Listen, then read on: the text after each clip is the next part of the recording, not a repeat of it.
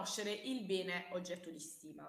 Uh, a seconda della situazione che poi ritroviamo sul mercato e dunque la presenza o l'assenza di beni analoghi, noi possiamo indirizzare, possiamo selezionare, possiamo determinare il procedimento di stima che poi andremo a seguire e dunque questo può essere di stima diretta o sintetica o indiretta o analitica. Dunque si raccolgono i dati e si arriva alla determinazione del valore di stima. L'ultima volta ci siamo detti che stimato questo valore di stima, che in realtà mh, viene solitamente chiamato valor capitale, a questo uh, valore vengono apportate delle variazioni, variazioni derivanti dalla uh, presenza, diciamo, dalla um, caratterizzazione del nostro bene, quindi del bene oggetto di stima, eh, rispetto ad alcune caratteristiche che il nostro bene ha o viceversa non ha rispetto al campione di immobili eh, scelto. Dunque, se il nostro bene presenta delle caratteristiche che sicuramente andrebbero ad influenzare il uh, valore di mercato, ma che il campione di beni non ha, è bene riconoscerle al nostro bene proprio per uh, non andare a sottovalutare il valore del nostro bene. Al contrario, se il bene oggetto di stima non presenta delle dotazioni, non presenta dei servizi, non presenta delle caratteristiche che invece ritroviamo nel, nei beni eh, eh, oggetto del campione analogo, allora è bene riconoscere a questi altri beni un qualcosa in più proprio per non andare, per non, diciamo, per non eh, incorrere nel rischio di sopravvalutare il bene oggetto di stima. Dopo faremo qualche esempio e capiremo meglio eh, questa questione. Um, rispetto a questo schema, l'ultima cosa che diciamo è che il procedimento di stima diretto o indiretta, a sua volta quello diretto può essere monoparametrico o pluriparametrico a seconda che il ehm, parametro di riferimento in base al quale viene effettuata la, la stima è uno e uno solo, quindi procedimento monoparametrico, oppure ehm, sono diversi parametri e dunque procedimento pluriparametrico. Eh, per quanto riguarda invece la stima indiretta o analitica, sappiamo che non c'è nessun parametro di riferimento, ma utilizziamo il metodo della capitalizzazione dei redditi, il procedimento del valore di trasformazione e poi il computo metrico estimativo. Ovviamente i primi due per stimare il valore di mercato, il computo metrico estimativo per stimare il valore di costo di un, uh, di un bene. Tutto chiaro fin qui?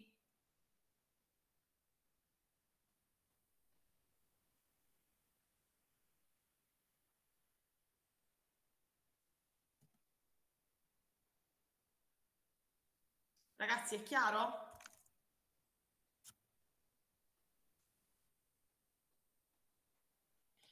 Abbastanza. Sì, è chiaro. Grazie. Allora, um, detto questo, questo ce lo siamo già detti e questo lo abbiamo detto. Ovviamente la scelta del procedimento di stima è essenzialmente guidata, in realtà direi è esclusivamente guidata dalla ehm, presenza di eh, beni analoghi, abbiamo detto recentemente compravenduti o realizzati, ubicati nella medesima area di mercato. E dunque, se si hanno a disposizione questi prezzi o costi, qui manca una R, prezzi o costi, allora posso adoperare un procedimento di stima diretta. Se al contrario non ho a disposizione questi prezzi o costi, devo necessariamente ricorrere a un procedimento di stima indiretta o, ehm, indiretta o analitica. Il procedimento di stima diretta, eh, abbiamo detto, parte dalla, dalla, raccolta di questi dati, quindi dall'individuazione di un, eh, di un campione di beni analoghi e poi si procede alla comparazione, al confronto tra il nostro bene e i beni analoghi ehm, al fine appunto di apportare aggiunte o detrazioni per evitare di eh, dimenticare, diciamo, di lasciare qualcosa di non stimato e dunque di avere dei valori poco congrui rispetto alla realtà. Allora, oggi guardiamo eh, sempre in maniera eh, diciamo abbastanza rapida il valore di mercato, cioè tra i diversi eh, valori di stima ci soffermiamo sul eh, valore di mercato. Perché ci soffermiamo su questo? Perché il valore di, di mercato è considerato in realtà insieme al valore di costo uh, uno degli aspetti economici, meglio uno dei criteri di stima più importanti, principali. Adesso vediamo perché. Um, perché prima di tutto risponde alla maggior parte dei quesiti economici.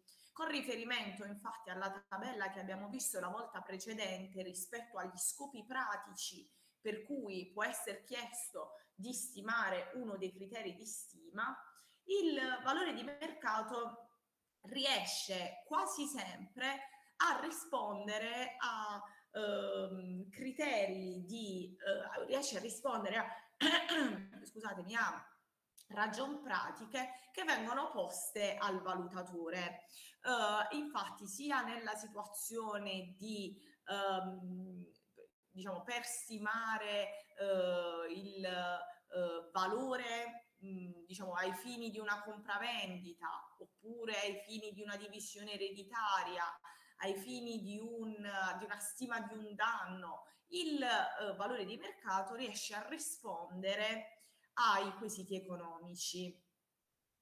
Uh, inoltre il, um, il valore di mercato riguarda la totalità dei beni mobili e immobili. Perché? Perché è normale che diciamo, la maggior parte, oserei dire tutti i beni eh, mobili eh, e immobili sono caratterizzati da un valore, quindi il valore di questi beni può essere stimato e questo valore è proprio assunto dal valore di mercato.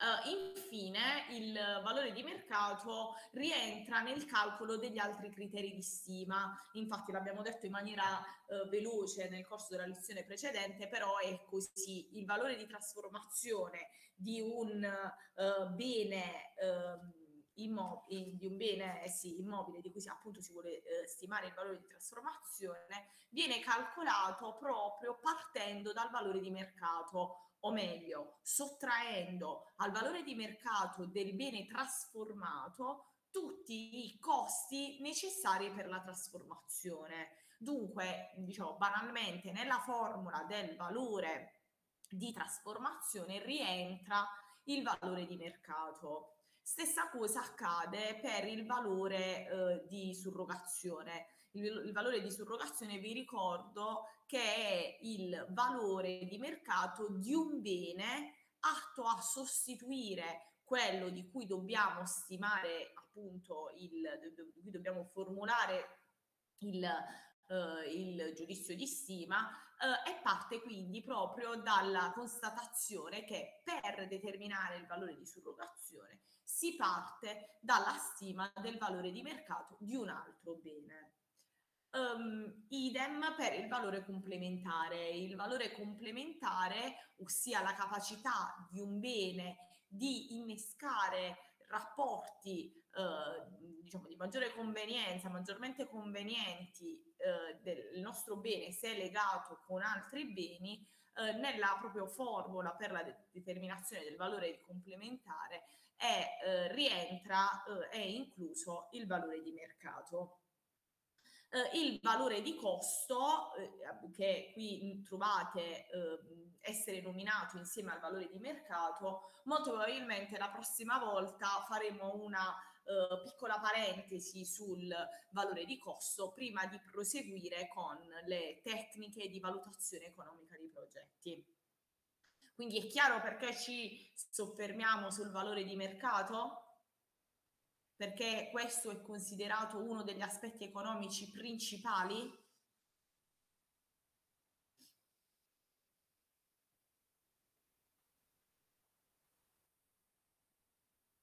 Ragazzi, sì o no?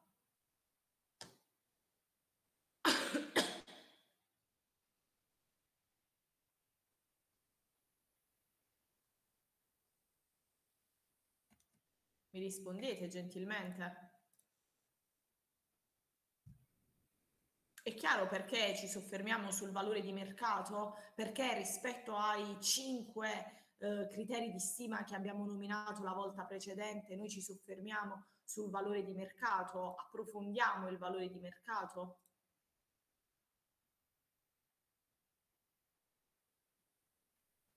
Sì. Grazie.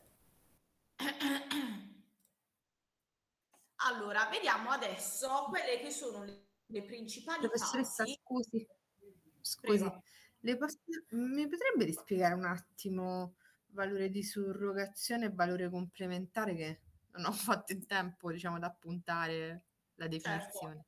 Allora, prima di tutto li rivediamo di qui, così li chiariamo bene proprio dalla spiegazione che abbiamo fatto l'altra volta. Allora, il valore complementare è il criterio di stima legato all'aspetto economico della complementarietà, cioè la capacità del bene di formare rapporti di complementarietà con altri beni, che significa di legarsi, diciamo, ad altri beni al fine di uh, valere di più. Ti faccio un esempio banalissimo così diciamo entra bene in testa se io eh, acquisto eh, diciamo, eh, bisogno del consumatore, ehm, acquisto delle scarpe.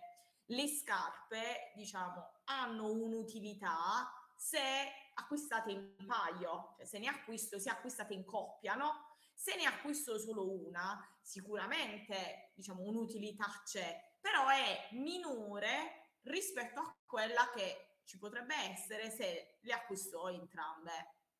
Ricordi, la volta precedente abbiamo fatto degli esempi legati a un lotto di terreno e ai trulli presenti su, su di esso. Il lotto di, de, di terreno sicuramente eh, ha un valore. Questo valore è maggiore se eh, il nostro terreno, al, diciamo, se sul terreno sono ubicati dei trulli e questi producono un reddito al proprietario del lotto e dunque anche dei trulli. Quindi um, se del bene noi dobbiamo stimare la capacità di questo bene di essere legato, di formare dei rapporti con un altro bene, allora eh, andiamo a stimare il valore complementare. Ok? Chiaro, sì, sì. Ok, ovviamente questo nella pratica quando si utilizza? Se devo stimare un danno non totale ma parziale e quindi rispetto alla totalità devo diciamo togliere un pezzettino, quello che ci siamo detti l'altra volta, se io vado a eh, abbattere i trulli c'è un danno che deve essere riconosciuto in termini monetari al proprietario dei trulli che però non è complessivo perché diciamo il lotto lui continua a mantenerlo, ma è un danno parziale. Idem se c'è un esproprio parziale, idem se c'è una limitazione all'uso di un bene per, perché ci sono dei vincoli. Quindi se c'è una um, limitazione parziale. Ok, questo è per il valore complementare. Il valore complementare quindi si stima facendo, diciamo, inserendo nella formula il valore di mercato dei beni. Per questo, diciamo, è ehm, il valore di mercato, abbiamo detto che rientra nella formula del valore complementare.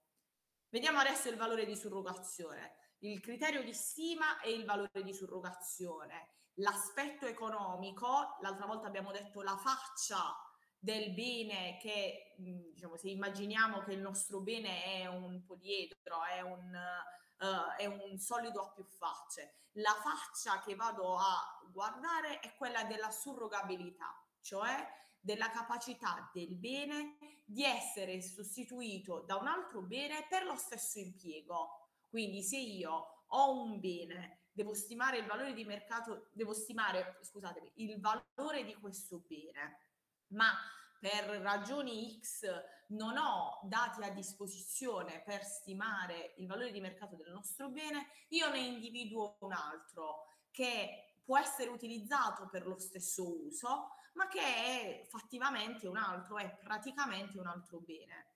Quindi vado a stimare il valore del mio bene attraverso un altro bene che è, si chiama il suo surrogato, il suo sostituito.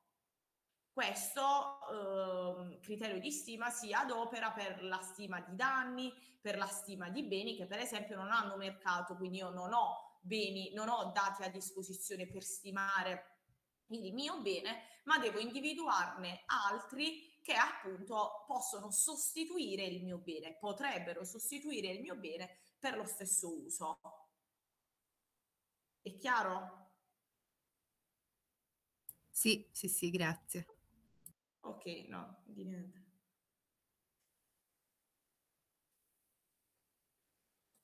Ok, quindi Uh, ok, quindi stavamo dicendo, uh, fatta questa premessa uh, sulle ragioni ehm, diciamo, dell'approfondimento del valore di mercato, in, diciamo, iniziamo a um, guardare i, um, il procedimento proprio finalizzato alla stima del più probabile valore di mercato. Lo facciamo con riferimento ad un bene a destinazione residenziale. Allora, eh, rispetto al titolo della presente slide, mi soffermo sul termine, sui termini, il più probabile valore di mercato e quindi vi chiedo perché parliamo del più probabile valore di mercato?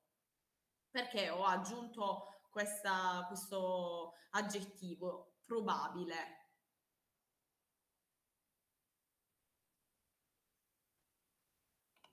Perché non abbiamo la certezza matematica, no? Ok, perché non abbiamo questa certezza? Perché quello che stimiamo non è certo. Perché se non abbiamo la vendita non può essere considerato ancora un valore di mercato.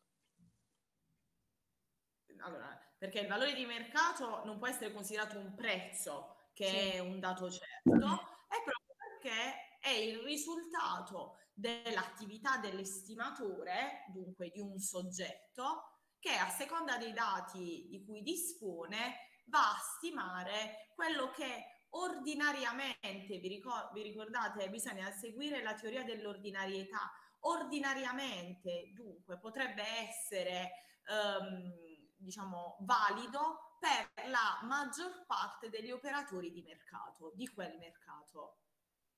È una previsione eh, su un valore che in futuro potrebbe trasformarsi in prezzo. Ok?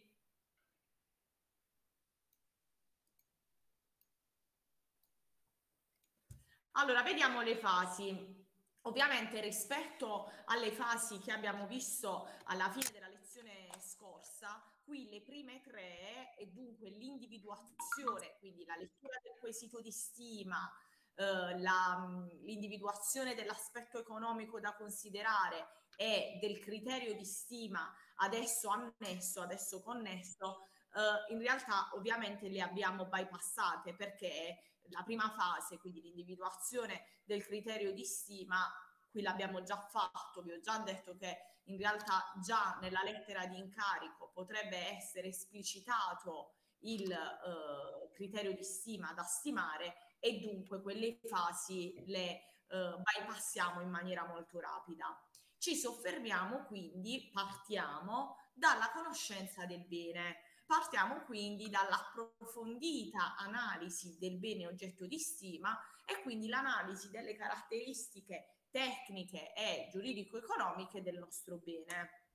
Adesso eh, ci, ci soffermiamo. Fatto questo, possiamo individuare il mercato elementare omogeneo, quindi possiamo individuare, eh, possiamo ricercare beni analoghi, prima di tutto verificare che il nostro bene che, no scusatemi che non sto bene, verificare che esistano beni eh, analoghi a quello oggetto di stima dal punto di vista qualitativo e quali- quantitativo e dunque possiamo enucleare, dunque estrinsecare, eh, diciamo identificare le caratteristiche che maggiormente rientrano nei processi di formazione dei, uh, dei prezzi di, uh, di, vendita al fine di andare a proprio a considerare le caratteristiche prese in esame da compratori e venditori nelle fasi di contrattazione. In questo modo ricerco i beni analoghi, scelgo, eh, lo mettiamo nuovamente tra virgolette, il procedimento di stima e determino, vedete, il valor capitale e posso infine eh, effettuare l'ultima operazione, quella legata alle aggiunte e o detrazioni al valor capitale, per infine appunto finalmente giungere al valore di stima. Allora, prima fase, conoscenza del, uh, valo- de conoscenza del mercato. Cosa devo uh, considerare? Devo considerare il mercato di riferimento nel quale il nostro immobile si colloca, devo quindi considerare eh, prima di tutto la destinazione d'uso, dunque se siamo, in, stiamo eh, facendo riferimento a un bene a destinazione residenziale, devo considerare il segmento del mercato residenziale, eh, degli immobili a destinazione residenziale, devo considerare poi tutti i fattori considerati da compratori e venditori nelle fasi di negoziazione, nelle fasi di contrattazione. Che significa? Significa che mi devo porre sul mercato, consultare i principali operatori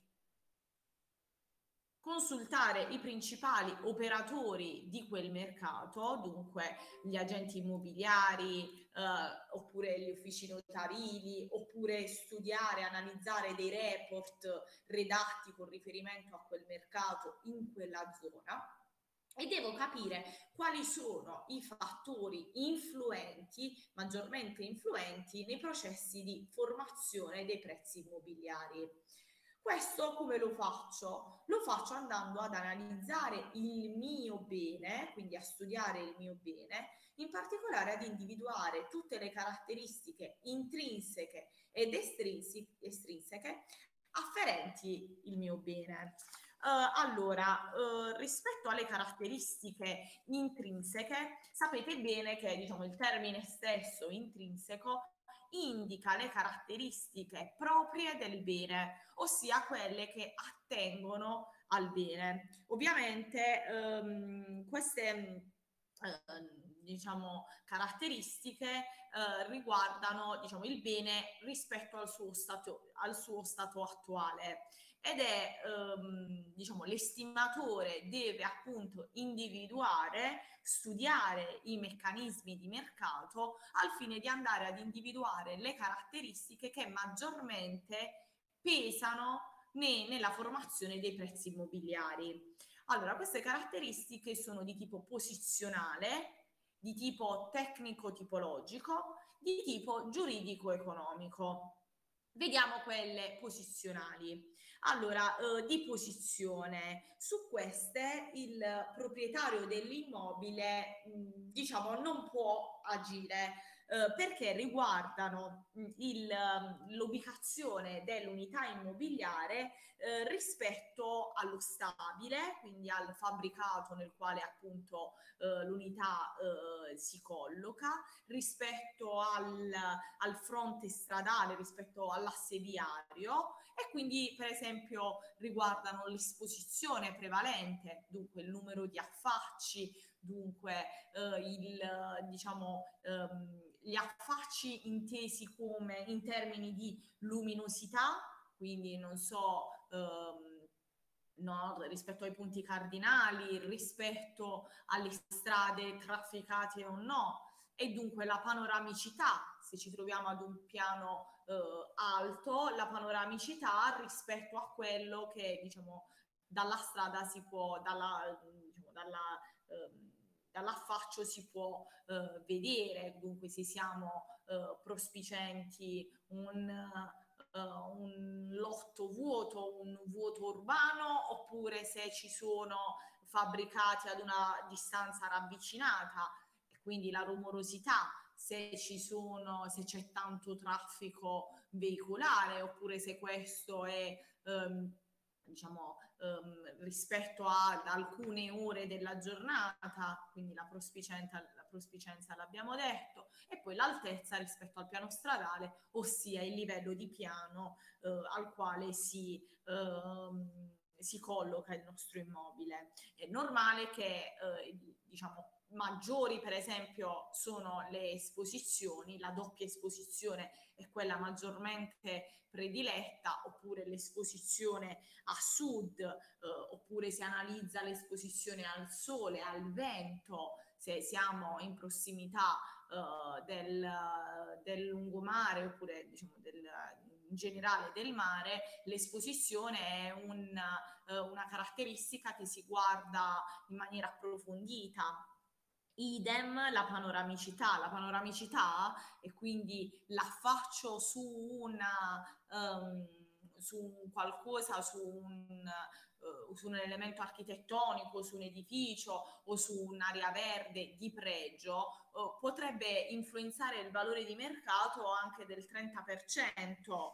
Um, ehm, la rumorosità, abbiamo detto, legata fortemente al livello di piano, Uh, maggiore e diciamo, più in alto si va, più eh, l'immobile è ubicato ad un livello alto, uh, minore sarà la rumorosità perché minore sarà diciamo, il, uh, il, il rumore del traffico veicolare.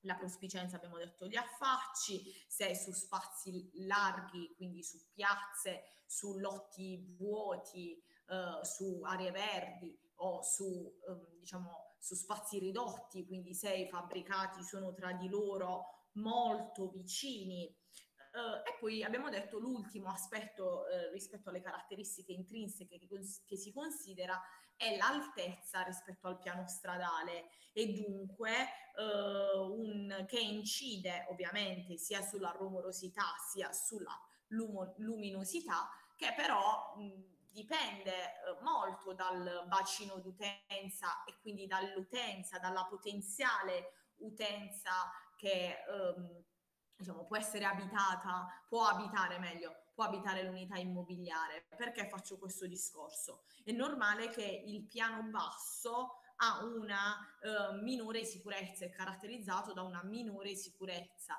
però è, è fateci caso, particolarmente ehm, apprezzato soprattutto dalle categorie più anziane. Al contrario, piano uh, i piani più alti, facciamo l'esempio del, del piano attico, è fortemente controverso perché se da una parte è più indipendente, gode di uno spazio aperto più grande, è sicuramente più freddo, non ha nessuno sopra che diciamo, funge da quasi riscaldamento naturale. E dunque è um, diciamo uh, fortemente uh, caratterizzato da una um, condizione che potrebbe essere mh, più o meno apprezzata a seconda appunto del, uh, del, contesto di riferimento nel quale ci troviamo e del mercato uh, locale. Ragazzi, chiaro il discorso che abbiamo fatto? Chiaro rispetto alle caratteristiche intrinseche di tipo posizionale? Sì. sì. Vediamo adesso un po' di caratteristiche intrinseche di tipo tecnico-tipologico.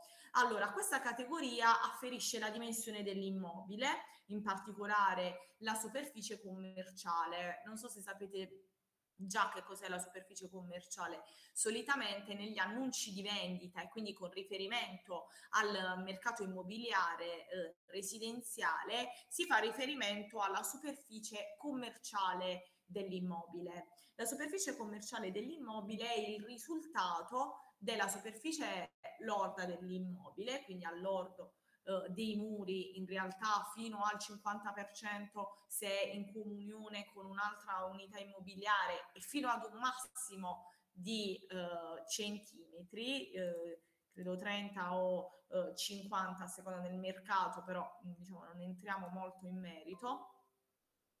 Um, più spa, tutte le pertinenze di uso esclusivo di ornamento di servizio calcolate eh, con, una, um, con, una, um, con un coefficiente di omogenizzazione. Quindi, eh, per esempio, se l'immobile eh, è dotato di balconi, questi rientrano nel calcolo della superficie commerciale, ma non al 100%, bensì con una um, percentuale, quindi un coefficiente di uh, riduzione che uh, è uh, fornito dagli agenti immobiliari della zona proprio perché diciamo, rispecchia quello che la zona ehm, diciamo, pratica. E quindi idem se ci sono dei terrazzi, dei, dei, giardini, se ci sono dei box collegati all'unità immobiliare, quindi con riferimento alle, eh, alla caratteristica dimensione dell'alloggio si fa riferimento alla superficie commerciale. Altra caratteristica, età dell'immobile, età dello stabile. Um, anche rispetto a questa caratteristica, un po' come il livello di piano, non c'è un apprezzamento univoco. Perché? Perché è normale che da un certo diciamo, momento in poi, quindi da un'età in poi, l'immobile potrebbe essere considerato un immobile d'epoca e quindi essere particolarmente apprezzato ehm, proprio perché gode di eh, particolari caratteristiche eh, di pregio dal punto di vista estetico, dal punto di vista sì, delle modanature, delle, eh, delle decorazioni. Al contrario è anche vero però che un immobile più moderno, quindi un immobile più nuovo, è caratterizzato da una um, attenzione o comunque da una um, sì, da delle caratteristiche legate alla, uh, allo stato di conservazione differenti. differenti. È normale quindi che ci sono, eh, diciamo, a seconda del mercato, degli apprezzamenti differenti rispetto all'età dello stabile. Um, in generale eh, gli immobili vengono classificati in immobili, unità immobiliari locate, uh, ubicate, scusatemi, localizzate, volevo dire, ubicate in edifici nuovi, in edifici simili al nuovo in quanto rimessi a nuovo e quindi eh, diciamo rinnovati, riqualificati e poi immobili eh, ubicati in edifici eh, vecchi. A seconda dell'età si può anche sfociare nella categoria degli immobili ubicati in edifici d'epoca che mh, diciamo potrebbero anche seguire un altro mercato proprio perché è come se si andasse a costituire un submercato, un segmento ristretto di, uh, di, di mercato appunto. Um, parliamo dello stato manutentivo. Allora, lo stato manutentivo, come ben potete eh, pensare, eh, car- eh, influenza tantissimo il valore di mercato perché ovviamente eh, una cosa è acquistare un immobile nuovo, eh, quindi dotato di eh, impianti, dotato di ehm, accortezze anche dal punto di vista tecnologico, diciamo, recenti una cosa è acquistare un immobile simil nuovo, quindi um, ristrutturato, ma magari uh, con uh, diciamo una, uh, una, struttura, una parte, le, la parte strutturale datata, una cosa è acquistare un immobile da ristrutturare. Uh, solitamente lo stato manutentivo, la classificazione legata allo stato manutentivo è questa. Immobile uh, che si trova in stato manutentivo eccellente e quindi in questa categoria rientra sia l'immobile nuovo sia l'immobile ristrutturato e quindi uh, molto vicino alle caratteristiche di un immobile nuovo, immobile abitabile, quindi le cui caratteristiche permettono l'abitabilità dello stesso, in particolare ehm, non, diciamo, l'immobile non necessita di urgenti interventi di manutenzione o riqualificazione. E infine, vabbè, immobile normale che si trova in uno stato normale, dunque significa che necessita magari di piccoli interventi, ma che tutto sommato eh, ha uno stato eh, medio e infine immobile da ristrutturare. Abbiamo già detto che questo costituisce un fattore particolarmente eh, diciamo, considerato da potenziali acquirenti, compratori e venditori, proprio perché eh, questo fattore incide molto fortemente sul prezzo di vendita. E diciamo, capiamo la ragione, ovviamente. Mh, acquistare un immobile da riqualificare eh, in tutto significa, eh, diciamo, significa mh, aggiungere al prezzo di acquisto dell'immobile tutti i costi necessari per la riqualificazione. Al contrario, acquistare un immobile già ristrutturato o comunque nuovo significa abbattere tutti questi costi in quanto non è necessario sostenerli. Uh, vediamo adesso, uh, tutto chiaro, vero? Sì, sì. Vediamo adesso eh, rispetto alle caratteristiche tecnico-tipologiche eh, la caratteristica distribuzione interna, ossia la caratteristica afferente alle, caratter- eh, diciamo, alle peculiarità compositive e quindi diciamo, eh, strettamente connesse funzionali delle unità immobiliari, dunque la distribuzione degli spazi, eh, la divisione tra zona notte e zona giorno, la ormai di moda, eh, il, l'ormai di moda, open space, non lo so qual è l'articolo, insomma, ehm, diciamo una serie di caratteristiche legate all'immobile che eh, attengono alla distribuzione degli spazi. Poi la presenza di eh, impianti tecnologici e quindi quali sono gli impianti e eh, si fa uno studio approfondito su quelle che sono le età di ogni impianto al fine di vedere se sono a norma, se hanno eh, avuto nel corso degli anni passati una regolare manutenzione e dunque un, eh, diciamo, se sono eh, perfettamente funzionanti. Insomma, si va a studiare un po' quelli che sono gli impianti, se sono autonomi, se sono centralizzati Infine, rispetto all'immobile, si studiano le rifiniture. Uh, rifiniture, ossia uh, i materiali usati per i pavimenti, per i serramenti, per i servizi, si vede oltre alla tipologia di, uh, di rifiniture e dunque di materiali adoperati anche lo stato conservativo di ciascuno.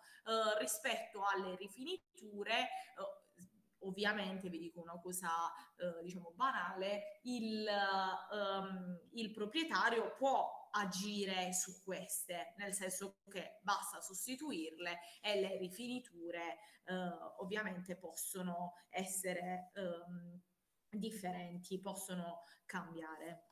Vediamo adesso le caratteristiche giuridico-economiche. Allora, eh, le caratteristiche giuridico-economiche sono sempre delle caratteristiche proprie del bene, cioè sono sempre delle caratteristiche intrinseche del nostro bene. Eh, la prima eh, è quella della situazione locativa. Uh, ovviamente il valore di mercato cambia a seconda che l'immobile sia libero oppure occupato. Uh, solitamente uh, nella perizia se l'immobile è occupato in quanto non lo so locato e quindi um, diciamo c'è un contratto di locazione in essere, si scrive che il, uh, l'immobile si ipotizza che verrà liberato al momento del rogito, perché è normale che nel momento in cui uh, ci sia il passaggio di proprietà, nel senso che il, um, il venditore vende il suo immobile, cede in cambio di una somma di denaro al compratore, è normale che l'immobile deve essere liberato in quanto il nuovo eh, proprietario deve poterne usufruire come vuole. La situazione locativa è un, fen- è un fattore che potrebbe influenzare il valore di mercato. Uh, in quanto la presenza di eventuali inquilini, di affittuari nella, uh, nell'immobile potrebbe andare a uh, influenzare, a influire sul valore di mercato. Um, perché? Perché uh, mettiamoci in due casi. Primo caso, uh, domanda, diciamo, il nostro uh, compratore acquista vuole acquistare per andarci a vivere, ossia per soddisfare un proprio bisogno e dunque per utilizzare eh, quell'immobile a destinazione residenziale per un, abbiamo detto, un proprio bisogno, ossia come bene di consumo. Uh, ovviamente se il bene, il, eh, quel bene è occupato, non è fruibile.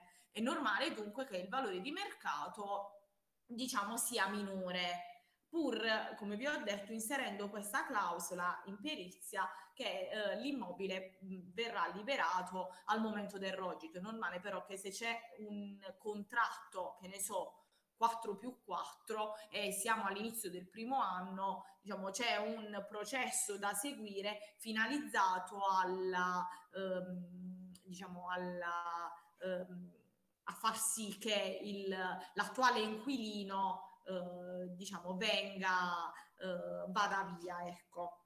Eh, seconda ehm, condizione, eh, il, il nostro, eh, il nostro potenziale compratore acquista per fare un investimento. In questo caso la condizione per cui l'immobile è occupato potrebbe risultare una condizione positiva, in quanto ehm, il nostro eh, compratore ha già, il nuovo proprietario di casa ha già un soggetto di riferimento per la locazione di quell'immobile, potrebbe benissimo non sostituirlo e quindi potrebbe, diciamo, partire nuovamente il contratto di locazione semplicemente con un soggetto che affitta differente. Um, è normale però che uh, il um, diciamo, eh, a seconda poi del, eh, delle condizioni eh, in cui si trova l'immobile e diciamo della, della situazione regolare o, nero, o non regolare eh, di pagamento del, eh, del proprietà del mh, mm, dell'attuale affittuario si vanno ad innescare dei meccanismi che potrebbero essere diciamo differenti. La cosa diciamo in generale che dobbiamo sapere è che la presenza di un inquilino potrebbe essere una, um, una condizione diciamo positiva uh, se l'immobile viene acquistato per fare un investimento se al contrario l'immobile, l'acquisto dell'immobile nasce da un bisogno personale, quindi per utilizzare l'immobile viene acquistato per utilizzarlo come bene di consumo, per andarci a, a vivere banalmente, è normale che la presenza di un inquilino va ad incidere negativamente sul valore di mercato. Ragazzi, è chiaro? Sì. Ok, allora eh, adesso vediamo le altre. Allora ci potrebbe essere anche la presenza di eventuali servitù passive sul nostro immobile. Eh, faccio un riferimento, faccio sì, un riferimento, un esempio molto veloce con, eh, e mi riferisco ad un lotto vuoto se sul nostro lotto vengono uh, posti degli elettrodotti, cioè delle um, tipo delle antenne che servono, non so, per le linee telefoniche, uh, quelli costituiscono delle servitù passive, ossia noi cediamo parte della superficie del nostro lotto per la, eh, per la posizione, per la presenza di questi, eh, di questi servizi, di queste dotazioni. Tutte queste caratteristiche vanno inserite nella nostra perizia di stima. Idem se vi sono esenzioni fiscali che il nostro immobile, di cui il nostro immobile gode, se ci sono ipoteche sull'immobile o se ci sono vincoli. Faccio un esempio, se mh, sono nell'ambito di un immobile con valenza storica e quindi il nostro immobile prima di essere, non lo so, eh, ristrutturato ha... Um, necessità eh, delle approvazioni, delle autorizzazioni meglio da parte della soprintendenza perché ci sono dei vincoli storici legati alla, eh, alla struttura, dunque alla, uh, sì, alle, alle, pareti strutturali, non lo so, del, dell'unità immobiliare, tutto questo va inserito nella perizia di stima e sono delle caratteristiche dell'immobile che vanno analizzate proprio perché alla fine Uh, il bene deve essere, come abbiamo detto prima, conosciuto in ogni sua parte e dunque è bene analizzare, sviscerare ogni caratteristica uh, di esso proprio per arrivare a un giudizio di stima quanto più uh, congruo, quanto più veritiero possibile. Allora, questa è, questa è una panoramica, diciamo, generale delle caratteristiche intrinseche, ossia quelle che, ehm, diciamo, caratterizzano, che proprio sono proprie del nostro bene. Posso andare avanti? Parliamo eh, poi delle caratteristiche estrinseche. Quindi la seconda categoria di caratteristiche che eh, il valutatore deve analizzare in maniera approfondita eh, si riferisce alle caratteristiche estrinseche. Allora, le caratteristiche estrinseche influiscono sul valore di mercato, ma eh, su queste il proprietario ovviamente non può eh, diciamo, intervenire. Sono caratteristiche che vengono dette di localizzazione dell'immobile rispetto al contesto urbano, rispetto all'area urbana in cui appunto l'immobile è ubicato. Uh, per esempio, l'ubicazione dell'immobile rispetto al centro urbano. È normale che la presenza uh, del, di servizi, diciamo, uh, no, più che di servizi, eh, diciamo la, presen- la vicinanza meglio del nostro immobile al centro urbano costituisce un fattore che particolarmente è eh, apprezzato dai, dai, potenziali acquirenti. Anche in merito a questo il, l'apprezzamento potrebbe non essere univoco perché ci potrebbero essere delle categorie di persone che diciamo, eh, volutamente scelgono, potrebbero scegliere di non eh, andare ad abitare nel pieno centro e quindi la lontananza, un po' la non eh, prossimità rispetto al centro potrebbe costituire un, uh, un, un fattore uh, di gradimento. Um, in questo senso, quindi con riferimento al centro urbano, l'abbiamo già detto in un'altra occasione, vi ricordo che ormai le nostre città non sono più monocentriche, ma sono policentriche. È normale qui, quindi che quando facciamo riferimento al centro urbano non ci riferiamo più al centro so, storico, al nucleo storico, ma ci, ma ci riferiamo ai centri ehm, direzionali o comunque pieni di servizi che possono dunque andare a costituire una, uh, un valore aggiunto rispetto al, al valore del, del bene oggetto di stima. Uh, la posizione del, dell'immobile rispetto al contesto urbano viene valutata anche in termini di accessibilità. Uh, questo perché? Perché la uh, più o meno vicinanza dell'immobile rispetto al centro ovviamente può essere superata uh, da un sistema di trasporto pubblico ma anche privato efficiente.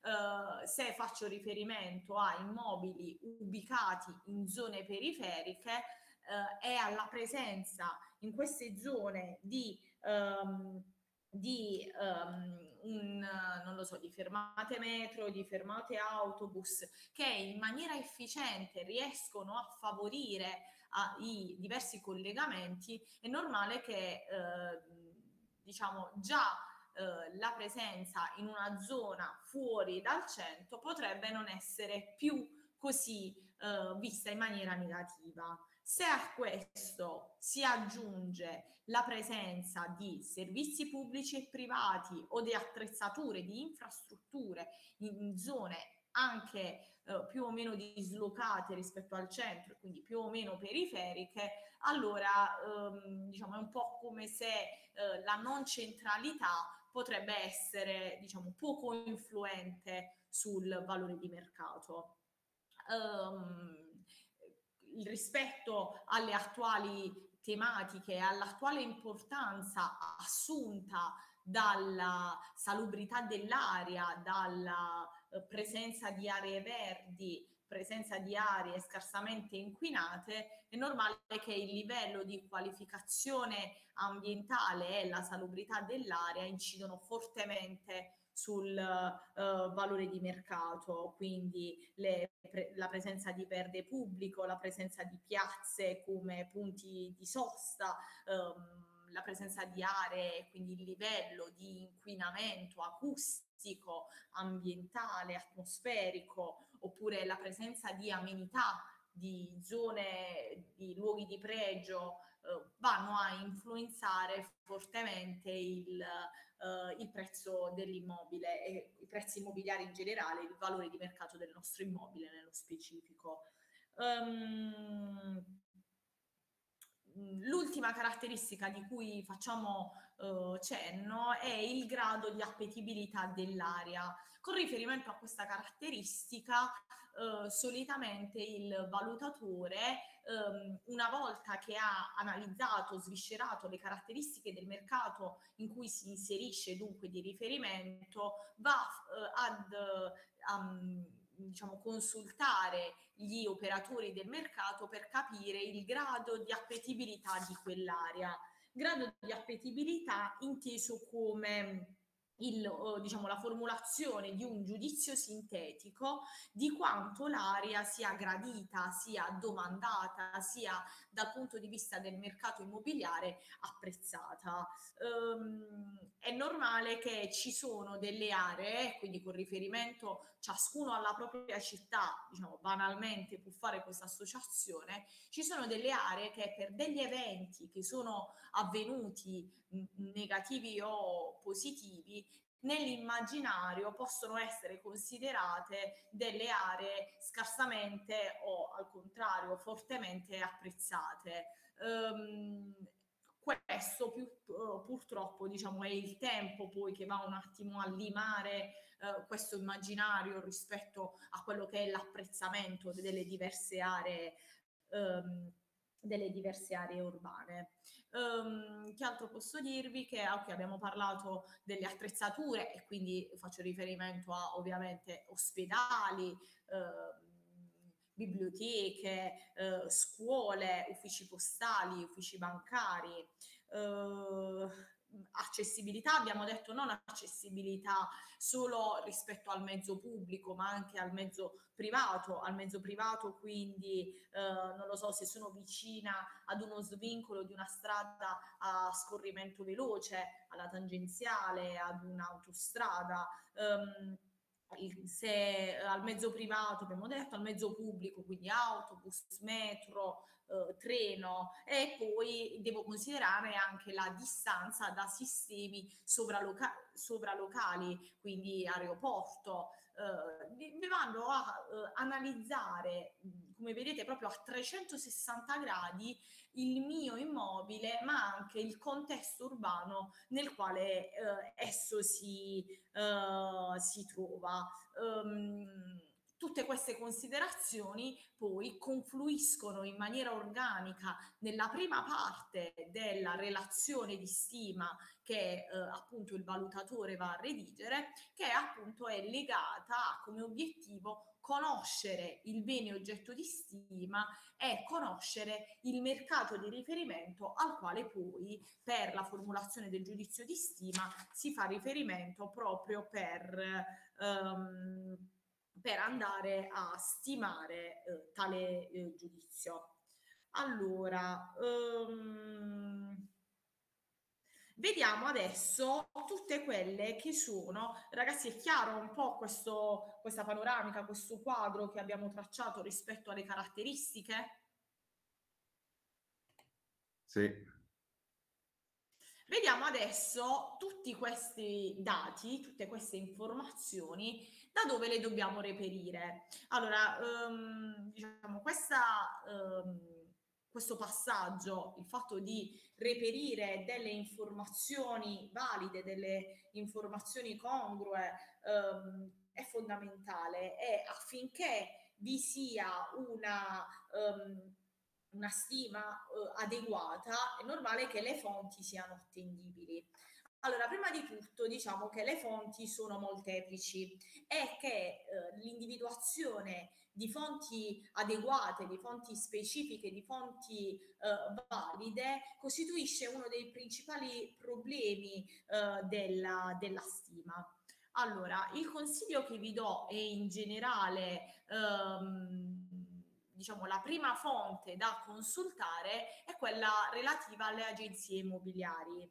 Uh, perché? Perché um, gli operatori, gli agenti immobiliari rappresentano gli operatori del mercato che, um, diciamo, per um, forza di cose, nel senso che vivendo il mercato in pratica, quindi praticamente, lo conoscono in maniera approfondita.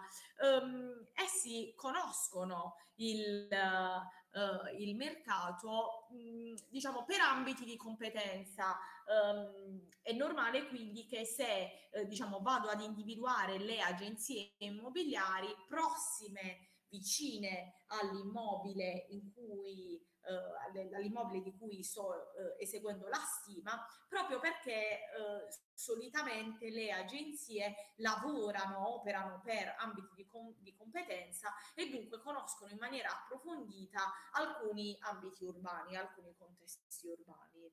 Uh, gli agenti immobiliari conoscono sia i canoni di locazione sia i prezzi di compravendita. Um, conoscono anche, e questo è, diciamo, potrebbe essere fondamentale, eh, anche eh, lo sconto, il differenziale di valore che sussiste, che mediamente eh, è praticato tra offerta di vendita e quindi quello che noi troviamo sull'annuncio di vendita e il prezzo effettivamente praticato poi sul mercato. Um, infatti eh, essi guidando, diciamo, occupandosi di diversi immobili dalla fase in cui l'immobile viene posto sul, eh, viene posto sul mercato, quindi viene posto in vendita alla fine del processo, quindi alla contrattazione, alla fase in cui vi è la vera e propria compravendita, permettono di, um, di uh, guidare l'estimatore, di dare indicazioni circa quello che è appunto il differenziale, eh,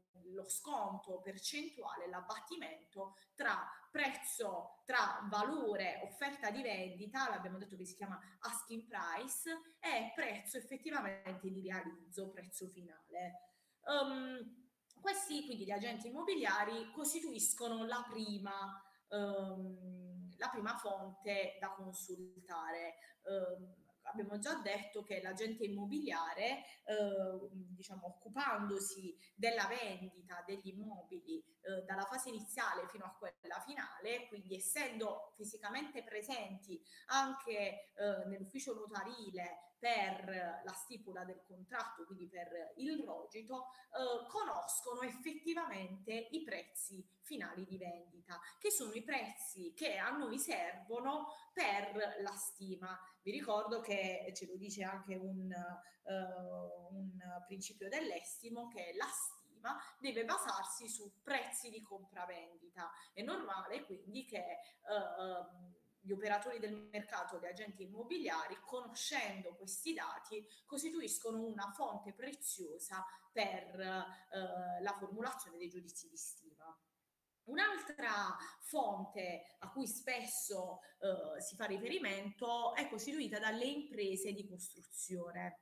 Uh, essi, uh, esse, le imprese, uh, cos- con- conoscono i costi di costruzione, essi, um, esse cost- conoscono diciamo, in maniera approfondita i, i, costi sia stimati che quelli effettivamente um, che sono stati sostenuti in quanto hanno um, diciamo, redatto il computo metrico estimativo afferente al, al progetto e mh, durante la realizzazione sono stati veri e propri protagonisti di eventuali eh, varianti in corso d'opera e quindi eventuali imprevisti che hanno fatto oscillare in negativo o in positivo i costi, eh, di, eh, i costi di, di costruzione. Um, solitamente nell'ambito delle imprese di costruzione vi sono anche degli uffici vendita, eh, coloro, eh, diciamo, quegli uffici che si occupano appunto della vendita successiva alla realizzazione degli immobili appena eh, costruiti. Eh, le imprese quindi, se nell'ambito del, del loro organico hanno anche l'ufficio vendita, vendono gli immobili e quindi conoscono i prezzi, possono conoscere i prezzi di vendita.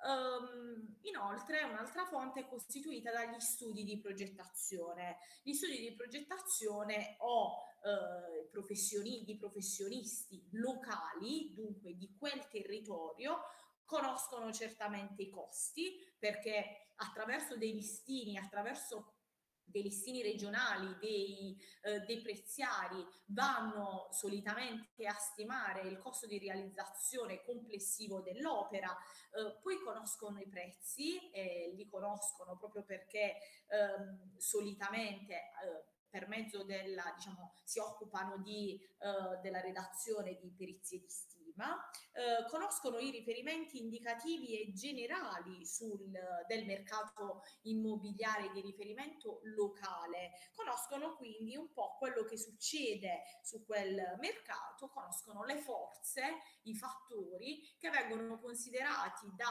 compratori e venditori proprio per le fasi, proprio per, nelle fasi di negoziazione e quindi di successiva compravendita um, se ci pensate è così, I, i clienti, i committenti si rivolgono proprio agli studi di progettazione quindi ai progettisti, per eh, esplicitare quelli che sono i fattori, quelle che sono le, eh, le esigenze i bisogni e quindi da questo ovviamente subito si capiscono quelle che sono, quelle che sono le caratteristiche maggiormente apprezzate dal mercato locale.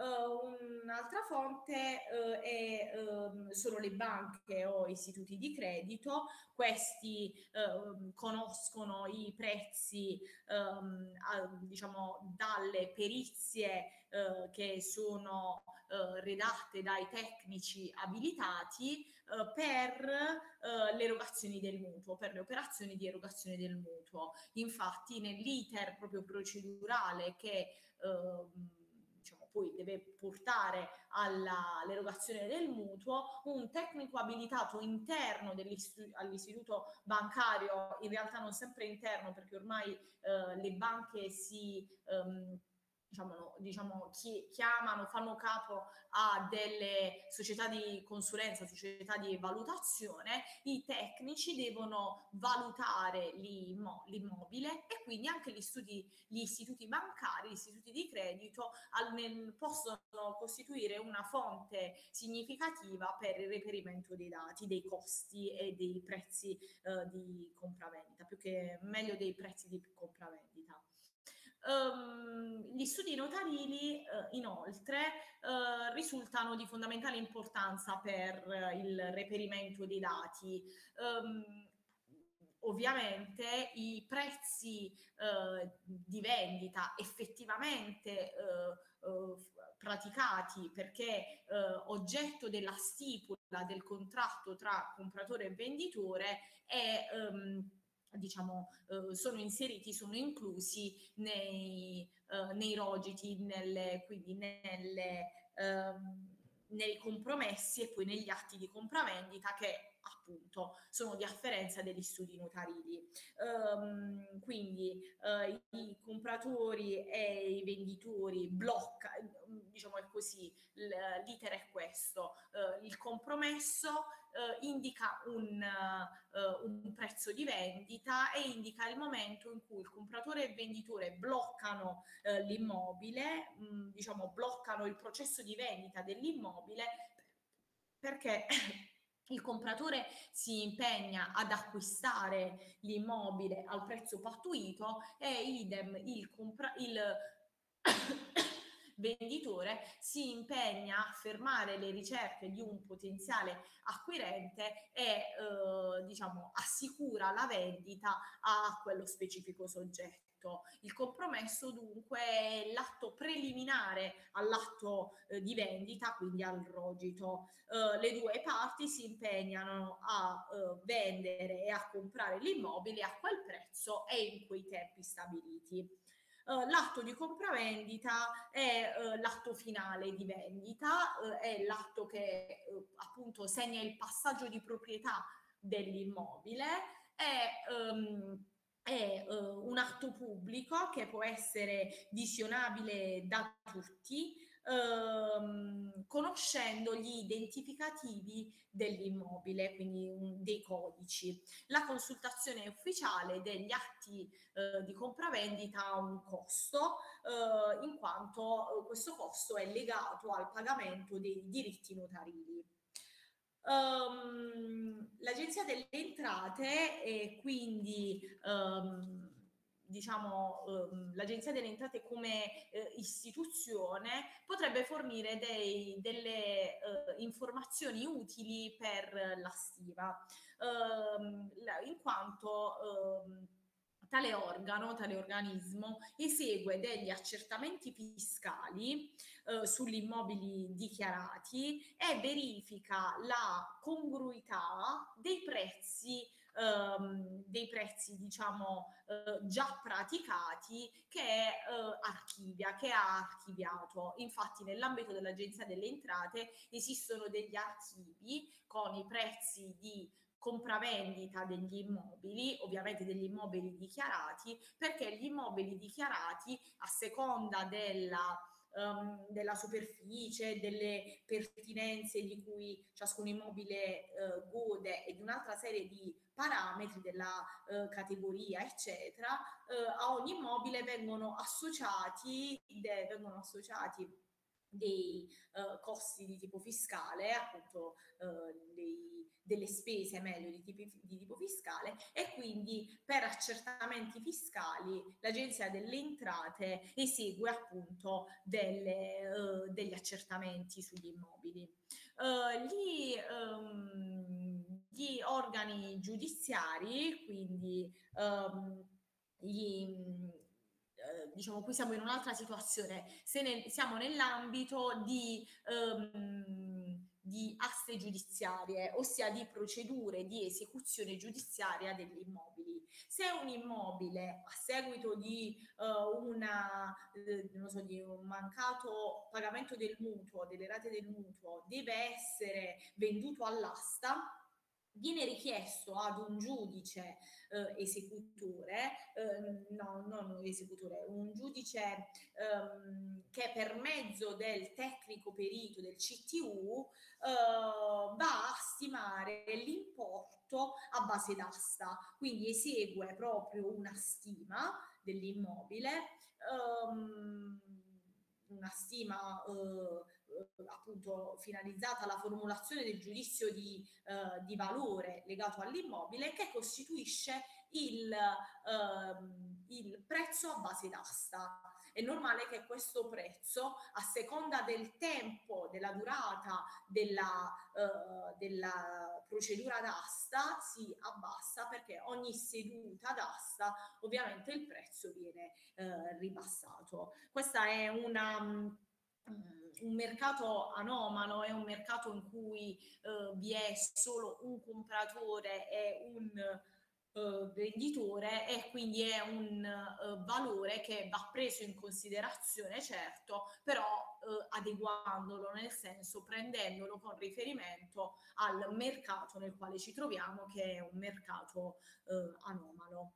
Um, l'ultimo, gli ultimi due, gli ultimi due elementi che costituiscono un'importanza fondamentale per il reperimento dei dati eh, sono degli istituti di ricerca sul mercato immobiliare e questi eh, con riferimento soprattutto a dei report, a dei rapporti che di volta in volta vengono, ehm, vengono periodicamente vengono redatti eh, rispetto all'andamento dei mercati delle principali città italiane e sono soprattutto utili per una conoscenza preliminare del mercato della città, diciamo ci si potrebbe spingere anche al mercato di specifiche zone eh, in quanto eh, diciamo permettono di ottenere delle informazioni sull'andamento, sul trend del mercato, quindi sul trend dei prezzi praticati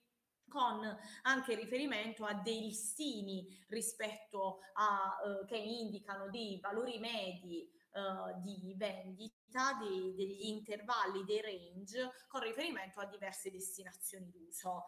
Um, ovviamente eh, le indicazioni riportate su dei report, su dei rapporti, su delle relazioni periodiche eh, di questi istituti di ricerca sono delle indicazioni di massima, sono delle indicazioni che devono essere prese come riferimento generale, prima indicazione, perché non costituiscono dei prezzi effettivamente praticati che invece, come abbiamo detto già diverse volte, devono essere presi in considerazione per effettuare la stima. Uh, tra gli istituti di ricerca sul mercato immobiliare più importanti vi nomino Nomisma, uh, Scenari Immobiliari, l'Osservatorio del Mercato Immobiliare e dunque l'UMI e borsini, diversi borsini immobiliari.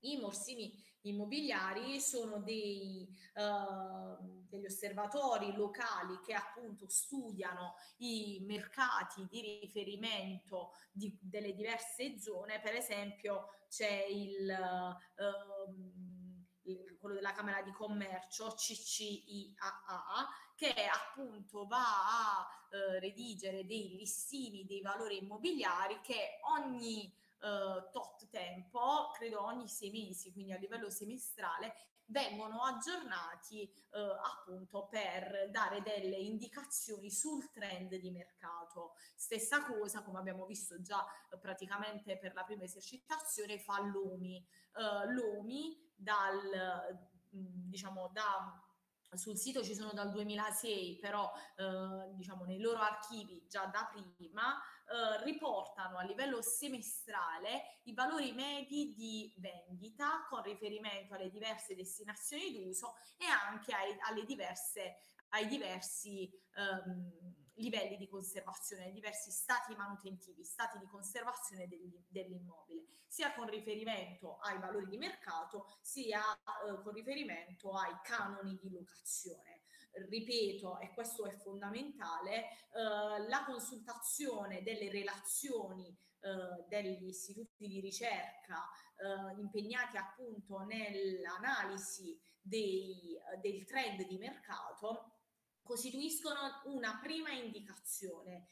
Effettuare una uh, valutazione, una perizia di stima basandosi solo ed esclusivamente sulle quotazioni UMI o sui valori di mercato o su dati riportati in rapporti uh, di questi istituti di ricerca costituisce un errore uh, esorbitante proprio perché non abbiamo rispettato uno dei principi dell'estimo per cui il prezzo è il fondamento della stima. E noi non ci siamo basati su prezzi di compravendita effettivamente praticati e verificati sul mercato, ma ci siamo um, in quel caso ci saremmo uh, semplicemente um, affidati a dei dati che sono dei dati frutto di medie frutto di eh, sì, medie di quotazioni immobiliari che al, in questo caso non possono essere utilizzati come dati di eh, riferimento assoluto, ma come indicazione di massima,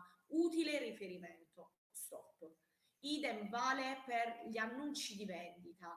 Come abbiamo già detto prima, l'asking prices, ossia l'offerta di vendita, quella che trovate sui cartelli affissi in agenzia immobiliare o sui siti immobiliare.it, eccetera, costituisce solo ed esclusivamente un'indicazione di massima. Noi non possiamo raccogliere un campione di immobili costituito da immobili in vendita, perché gli immobili, ehm, eh, i beni analoghi, oggetto, analoghi al bene oggetto di stima devono essere degli immobili compravenduti di recente, già compravenduti, perché di questi deve essere fondamentale estrapolare, conoscere il prezzo di vendita, che è il prezzo a cui io devo fare riferimento per stimare, per formulare il giudizio di stima. Ragazzi, questo concetto è chiaro? Sì, sì. Ok, chiaro. e tutte uh, le... Prego? Chiaro, chiaro. Tutte le fonti che abbiamo elencato sono tutte chiare? Devo soffermarmi su qualcuna o posso andare avanti? No, solo una cosa, professoressa. Io tante volte ho consultato quella della Camera del Commercio, ma non me la fa quasi mai consultare. Che bisogna fare? Una specie di, di iscrizione speciale? Perché allora, sono, ecco. Potrebbe essere, allora potrebbe essere che eh, ti richiede, eh, diciamo, come se devi identificarti, cioè dire che stai facendo questa ricerca ai fini della, eh, non lo so, di una eh, perizia di stima e quindi potrebbe essere che eh, è necessario consultare, diciamo, dopo aver fatto una sorta di iscrizione, ecco. No, sì. l'iscrizione appunto ce l'ho pure, però bisogna pagare praticamente. Io ho sempre pagato, ecco, questo è il concetto, cioè gratuito non c'è. No, ma ecco. idem, eh, come ho detto prima, la domanda per... così infida. Sì, sì, no, ma idem per consultare gli atti di compravendita. Sono dei, uh, gli, gli, atti notarili, sono degli, dei documenti diciamo pubblici, io li posso, li posso consultare, però devo pagare i diritti notarili, cioè devo pagare, ehm, è come se dovessi pagare al notaio il lavoro che ha compiuto ossia la redazione di quell'atto notarile, sia del, del, compromesso sia dell'atto di compravendita e quindi devo effettuare diciamo, un pagamento prima di poter consultare i dati. In, okay, realtà grazie. vi dico, eh, diciamo, la maggior parte dei, um, la maggior parte dei periti ovviamente stimano il, nella pratica stimano il valore di mercato affidandosi a agenzie immobiliari, vi dico anche agli uffici vendita delle imprese di costruzione che solitamente diciamo, mettono a disposizione il loro sapere in maniera gratuita. Quelli sono dei dati che seppur ufficiali, quindi consultabili, sono a pagamento, sì. Ecco, grazie. Okay. Però quella dell'agenzia d'entrata no, invece. Quindi no. quella pure si può no, quella dell'agenzia delle entrate no, uh, noi come Lumi, uh, però certo. sono dei uh, quella dell'agenzia delle entrate dici gli accertamenti ai fini fiscali?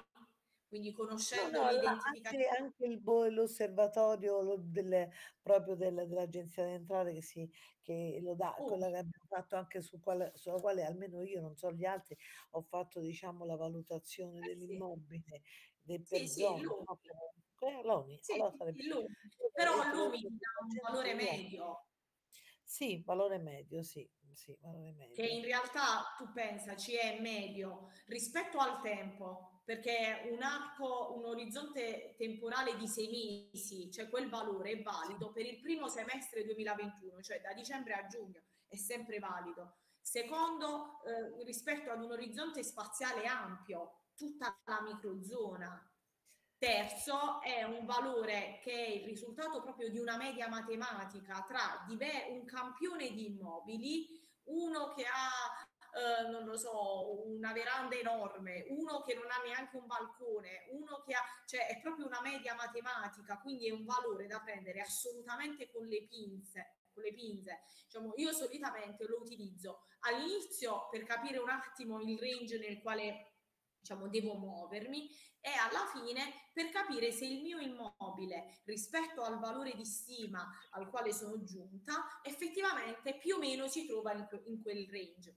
Ma anche se diciamo, poi alla fine eh, il risultato al quale giungo diciamo, non verifica eh, diciamo, l'inserimento del mio valore in questo range che mi, uh, che mi propone eh, l'UMI non importa, nel senso che eh, sicuramente è specifico e quindi più preciso quello che ho ottenuto.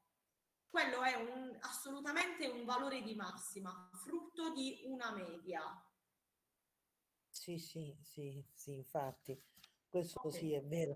Appunto, uno deve fare un'indagine un po' più vasta, appunto, come Camera Commercio, io, i borsini delle varie agenzie, questo dell'agenzia immobiliare, e poi fa una media e poi appunto aggiunge tutti i valori intrinseci, come giustamente lei ha detto, di ciascun immobile e anche quelli estrinseci, e poi alla fine viene la valutazione un po' più specifica.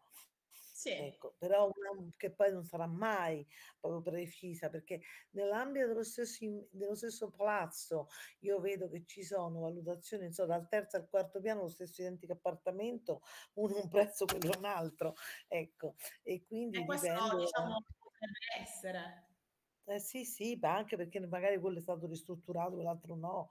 Ecco quello sì, che dicevo. È stato conservativo, certo, certo. Certo. Assolutamente okay. sì.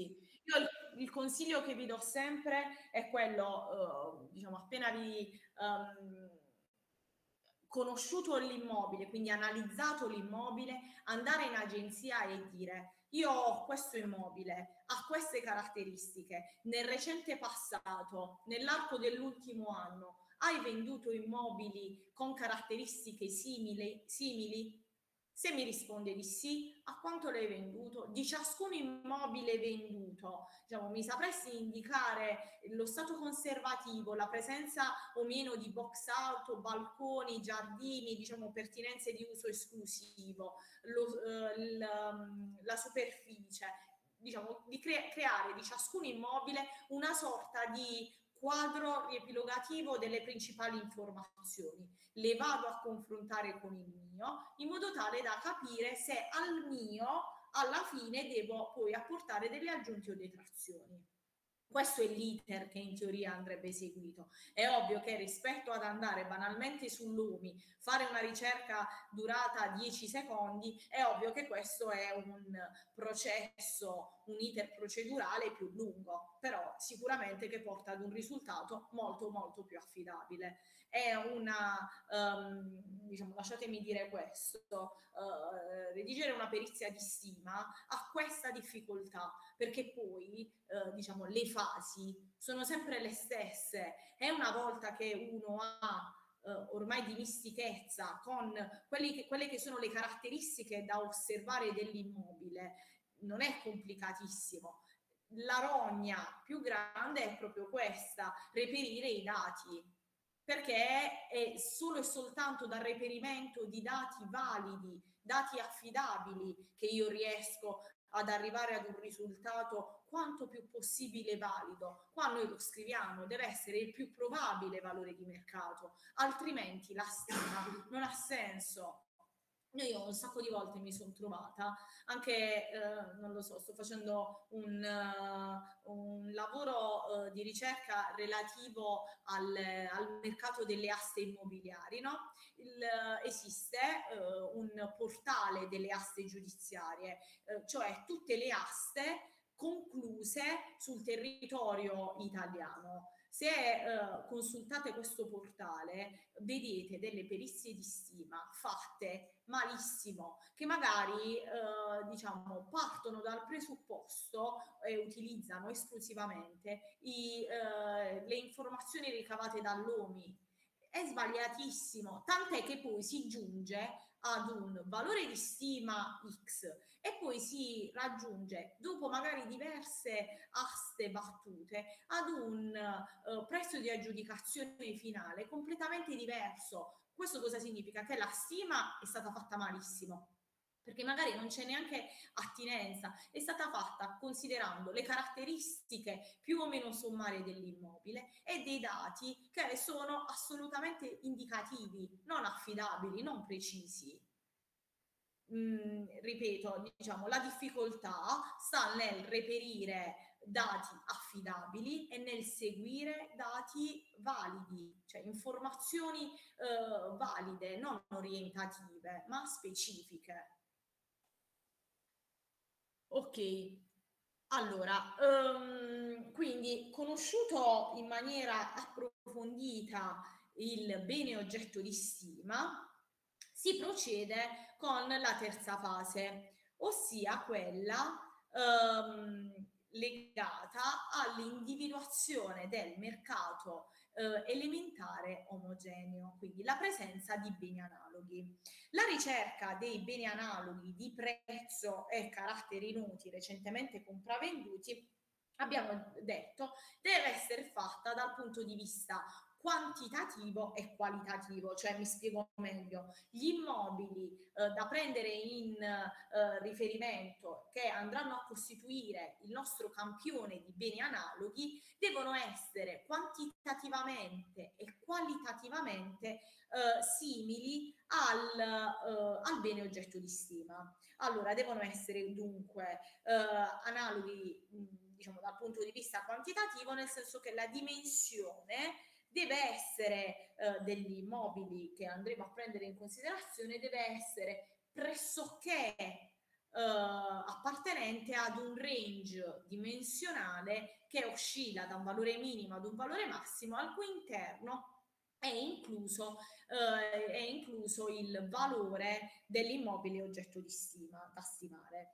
Um, questa cosa già la sapete, è ovvio che abbiamo già stu- studiato che eh, mediamente i, i, tagli più piccoli, quindi gli immobili più piccoli, hanno dei prezzi unitari come?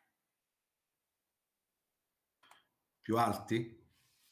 Più elevati, perfetto. È che eh, al contrario, invece, questo perché abbiamo visto il grafico prezzo unitario quantità, al contrario è normale che prezzi un prezzo più basso, unitario più basso, lo si può ritrovare se la superficie dell'immobile è più grande, proprio per non andare a prendere immobili molto più grandi che poi hanno magari un prezzo unitario ehm, più basso rispetto a quello che potrebbe essere stimato per il nostro bene, vi consiglio di escludere quelli, quindi gli immobili, che quantitativamente risultano assai dissimili rispetto a quell'oggetto di stima.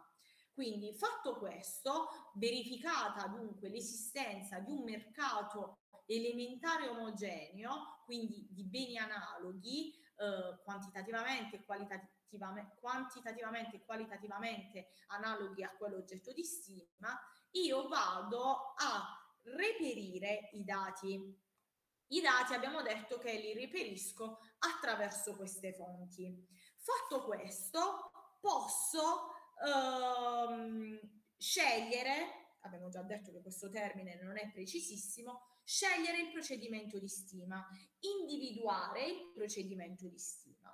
Uh, il procedimento di stima, uh, diciamo, siamo nel, nell'ambito di un procedimento uh, di stima diretto perché abbiamo effettivamente verificato l'esistenza di un mercato elementare omogeneo, può essere monoparametrico o pluriparametrico, abbiamo già detto monoparametrico se la comparazione è condotta in base ad un unico parametro, dunque si assume che i beni analoghi utilizzati per il confronto siano differenti dal bene da stimare per una sola caratteristica. Badate bene, questa è un'ipotesi, nel senso che il campio- è vero che il campione deve essere quanto più simile qualitativamente al bene oggetto di stima, quindi se eh, diciamo, dovremmo arrivare a individuare un campione di immobili che hanno tutti il box auto, che hanno eh, un, immobili che hanno tutti un giardino esclusivo, tutti ubicati ad un piano intermedio, tutti eh, che hanno un doppio affaccio, insomma dal punto di vista delle caratteristiche intrinseche e ovviamente estrinseche, perché ragazzi l'immobile deve essere ubicato nella stessa microzona di mercato, devono essere tutte queste caratteristiche omogenee. Potrebbe differenziarsi il campione dal nostro immobile esclusivamente per una caratteristica. Questa perché è un'ipotesi? Perché in realtà eh, diciamo, trovare una corrispondenza assoluta è complicato. Che cosa si fa? Si va a scegliere certamente un campione di immobili analoghi, cioè quanto più simili al bene oggetto di stima, che però potrebbero anche essere per alcune caratteristiche leggermente diverse. Queste caratteristiche leggermente diverse devono essere considerate, cioè devono essere in questa fase individuate, identificate e poi nell'ultima fase considerate per eventualmente adeguare aggiustare il valore capitale stimato. Chiaro o lo ripetiamo?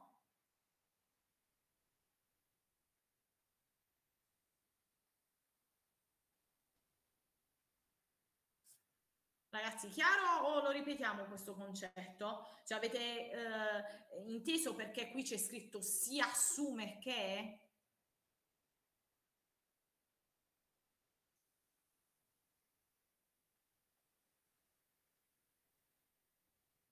Potrebbe cortesemente ripetere, almeno per me? Allora, eh, dicevo, una volta che abbiamo individuato e verificato che il mercato eh, esista un eh, mercato elementare omogeneo, noi dobbiamo identificare il procedimento di stima da seguire. Siamo nell'ipotesi in cui eh, decidiamo di seguire un procedimento di stima monoparametrico, quindi un solo parametro di confronto.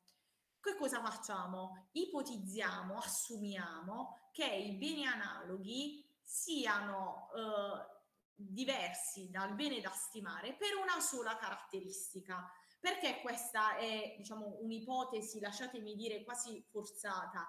Perché in realtà il campione di beni analoghi potrebbe differenziarsi per altre caratteristiche. Noi che cosa dobbiamo fare? Dobbiamo individuare queste caratteristiche, identificarle e poi le andremo a considerare nell'ultima fase, cioè quando una volta stimato il valor capitale andiamo a fare le aggiunte e le detrazioni al fine di aggiustare, di adeguare il, valor stima, il valore capitale stimato.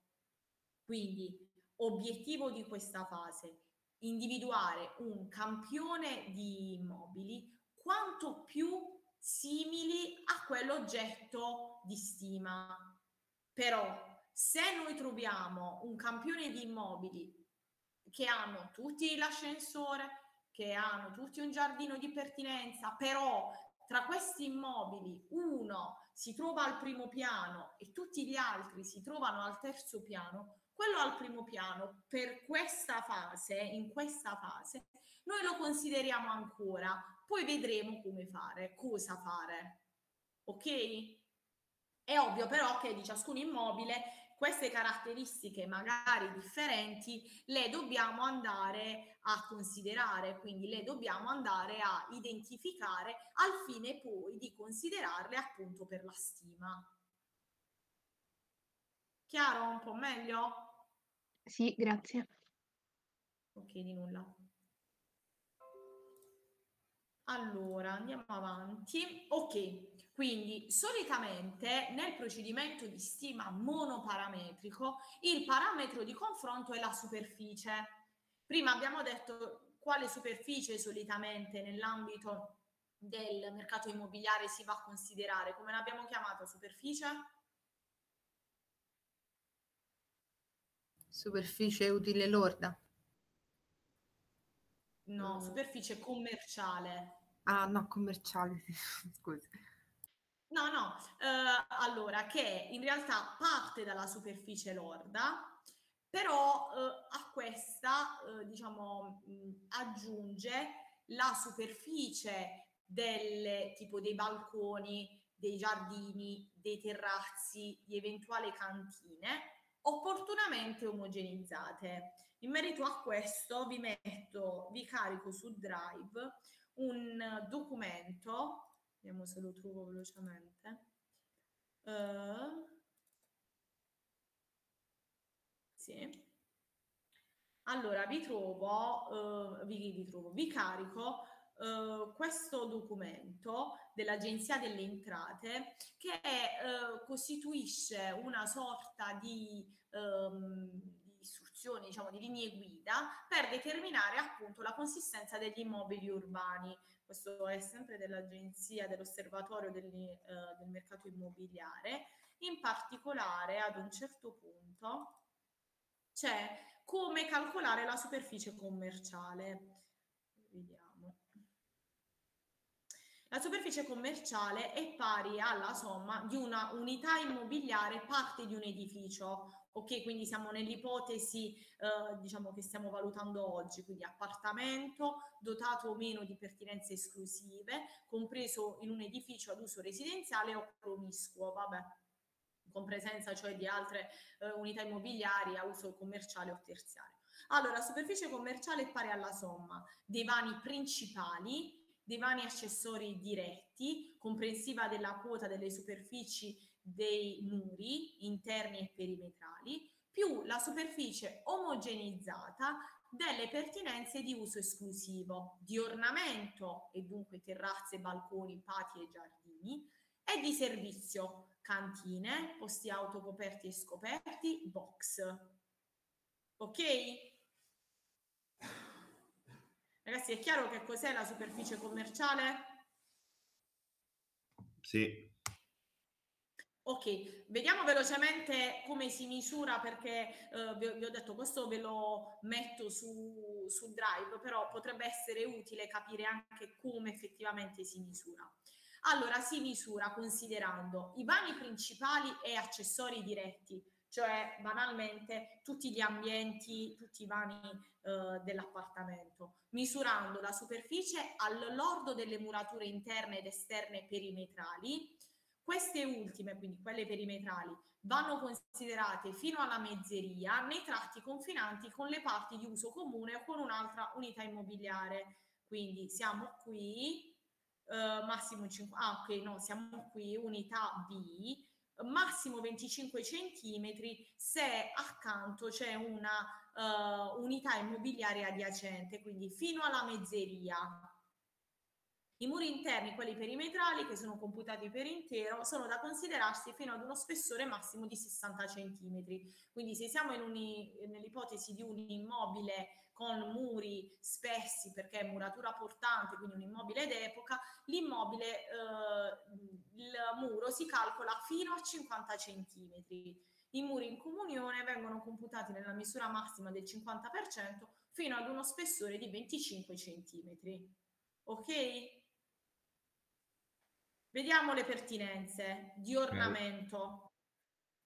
Pertinenze esclusive di ornamento. Balconi, terrazze e eh, similari, la superficie fino al, contesto, fino al contorno in, esterno, giardini, eh, aree scoperte eh, fino al confine della propria proprietà, ovvero se questa è delimitata da un muro di confine in comunione o da un altro manufatto fino alla mezzeria. Uh, pertinenze esclusive accessorie, quindi cantine. Eh, scusi professoressa, non ho capito, per cui i terrazzi vanno, terrazzi e balconi vanno considerati tutti? No, qua ti sta dicendo, diciamo, la questione dei muri e poi sì. vedi dopo c'è superficie sì, sì. omogenizzata.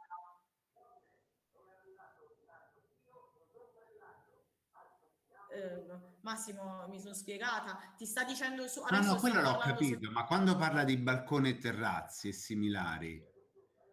No, non si, con- si considera fino al contorno esterno, però poi quella superficie la devi omogenizzare. Vedi, la superficie scoperta eh, ad area scoperta è pari al 10% fino alla superficie dell'unità immobiliare, al 2% per la superficie eccedente, ba- balconi, vedi, balconi. Uh, qualora le pertinenze siano comunicanti con i vari principali o accessori, misura del 30% Ok, fino chiaro, a 25%. chiaro, chiaro, chiaro, grazie. Qui sta facendo un discorso solo relativo, ehm, diciamo, al contorno. Poi ci sono tutte le superfici scoperte, questi sono i giardini, quindi 10%, balconi, terrazzi o similari, 30%, e poi 50% per pertinenze esclusive accessorie, accessorie se comunicanti, 25 se non direttamente comunicanti con i bani principali o accessori. Vabbè, ve lo metto e lo vedete eh, qui ti dice tutto il contorno per misurare. Poi di quest'area devi fare, devi eh, rispetto a quest'area devi utilizzare il coefficiente di omogenizzazione che a seconda dello spazio eh, diciamo nel quale ci troviamo, balcone coperto, giardino esclusivo, sarà una percentuale. Questa percentuale ehm, in prima battuta si eh, richiede agli agenti immobiliari, ossia agli operatori del mercato locale che conoscono il mercato. In seconda battuta si controlla il riferimento valido a livello nazionale che è questo qui. Ok? E- sì, scusi, cosa sono le... ehm, rimetta un po' quando parla delle pertinenze esclusive accessorie, cosa sono? Allora, accessorie sono cantine, soffitte, vedi te lo dice qua. Ah, ok, Eh, ok. Sono o di ornamento, accessorie, eh, pertinenze di uso esclusivo possono essere di ornamento, quindi terrazze, balconi, pati e giardini, di servizio, cantine, posti auto, coperti e scoperti e box auto. Comunque questo ve lo metto, volevo solo vedere la data di questo documento.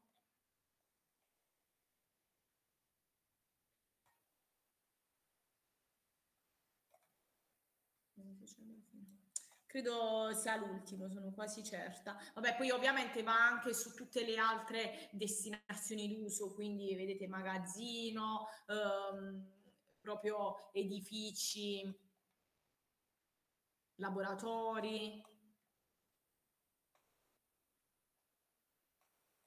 negozi. Ovviamente, diciamo, eh, noi quasi sempre, se ci troviamo negozi tradizionali, se ci troviamo a, eh, a effettuare la stima di un eh, appartamento, eh, consideriamo quello che abbiamo letto prima, posti auto. Vabbè, ve lo metto e avete modo di leggerlo un po' eh, autonomamente. Ok, quindi eravamo arrivati qui.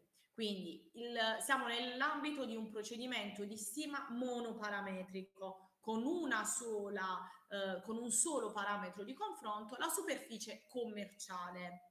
Come si eh, stima il valore di mercato? Si stima risolvendo, risolvendo la seguente proporzione, laddove VM eh, il valore di stima del bene, da- del bene oggetto appunto eh, di analisi sta alla superficie commerciale del bene oggetto di stima come la somma dei prezzi di mercato dei beni analoghi che fanno parte del nostro campione di immobili sta alla sommatoria delle superfici commerciali dei beni analoghi. Quindi, che cosa si fa? Eh, facciamo un passettino indietro così arriviamo eh, a questo, poi facciamo una piccola pausa.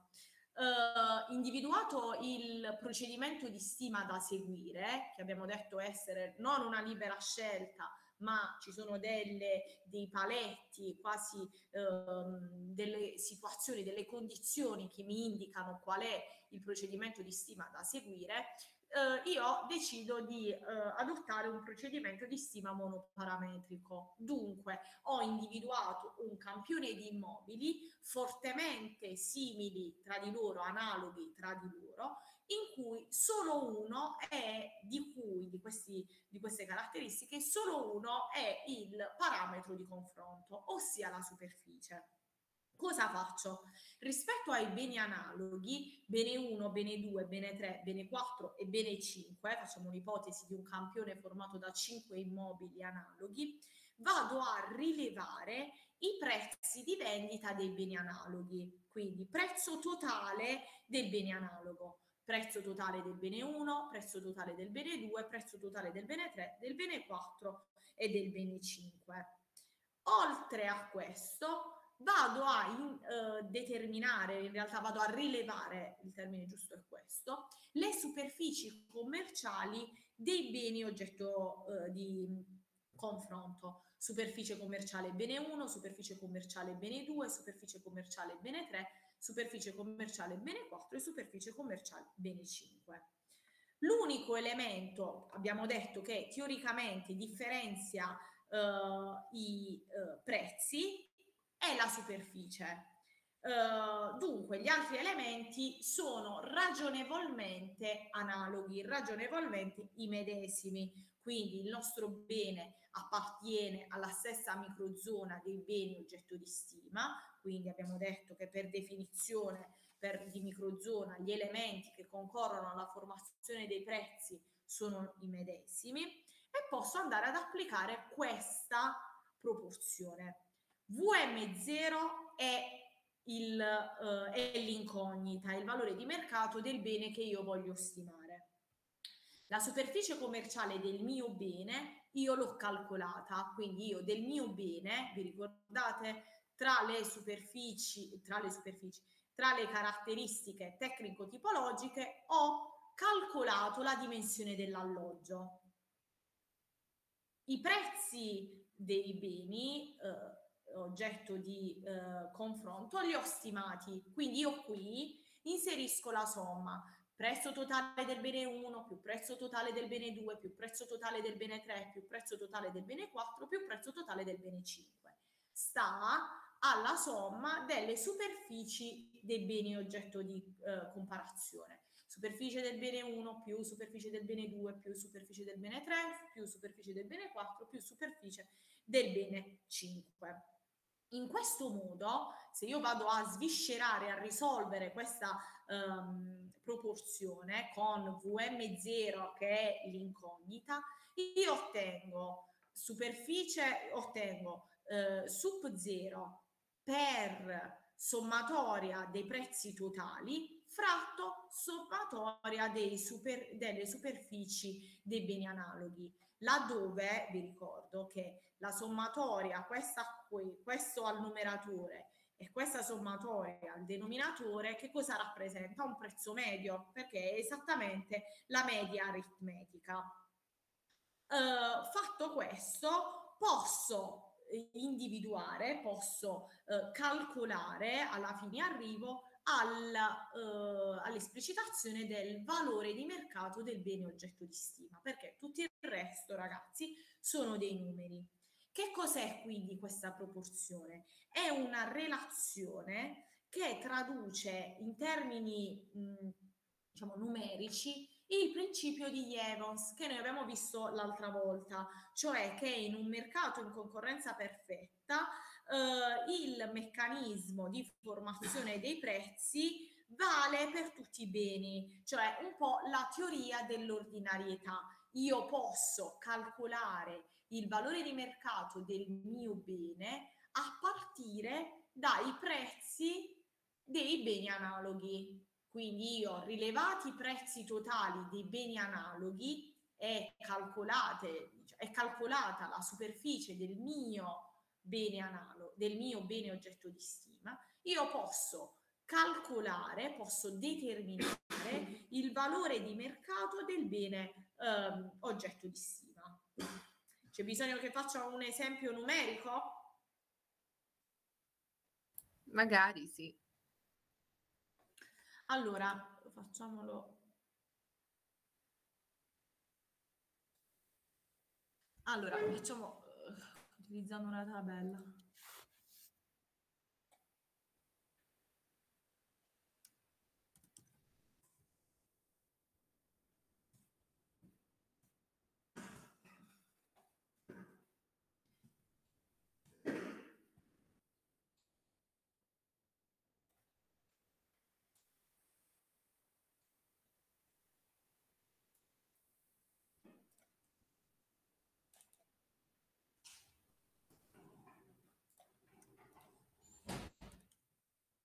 Allora, siamo nell'ipotesi, quello che vi ho eh, illustrato prima.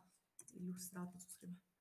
Immobile 4, immobile 5 e qui ci mettiamo il mio immobile, immobile 0. Quindi numero immobile, poi prezzo, facciamo un esempio numerico, 150.000 euro. 120.000 euro, 125.000 euro, 120.000 euro, 130.000 euro. Chiaro? Questo è ovviamente l'incognita, il valore di mercato. Quindi aggiungiamo un attimo. Inserisci. Ok. Uh, immobili no, numero, immobile. Prezzo di vendita, quindi rilevato, ragazzi, questo è un prezzo rilevato, poi parametro di confronto, cioè superficie commerciale. Chiaro? 645.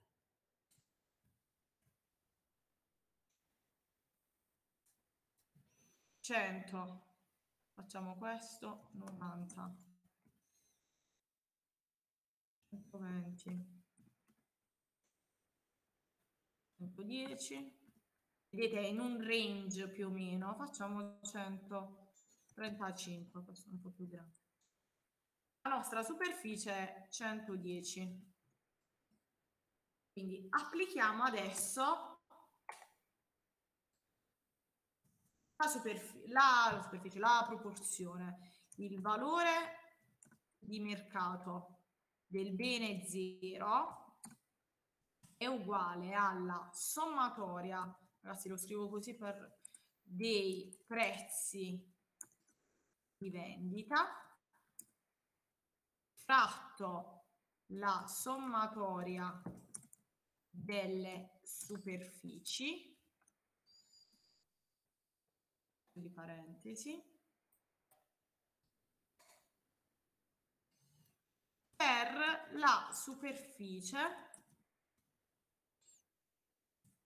superficie del bene zero, ok? Del nostro. 555. Quindi Vediamo. Allora, facciamo la sommatoria dei prezzi, quindi 150.000, scrivo tutto, stavolta scrivo tutto, 120.000. 645. Dammi un attimo. Tutto fratto 100 più 90 più 120 più 110 più 135 più 110. Tutto questo, parentesi quadra,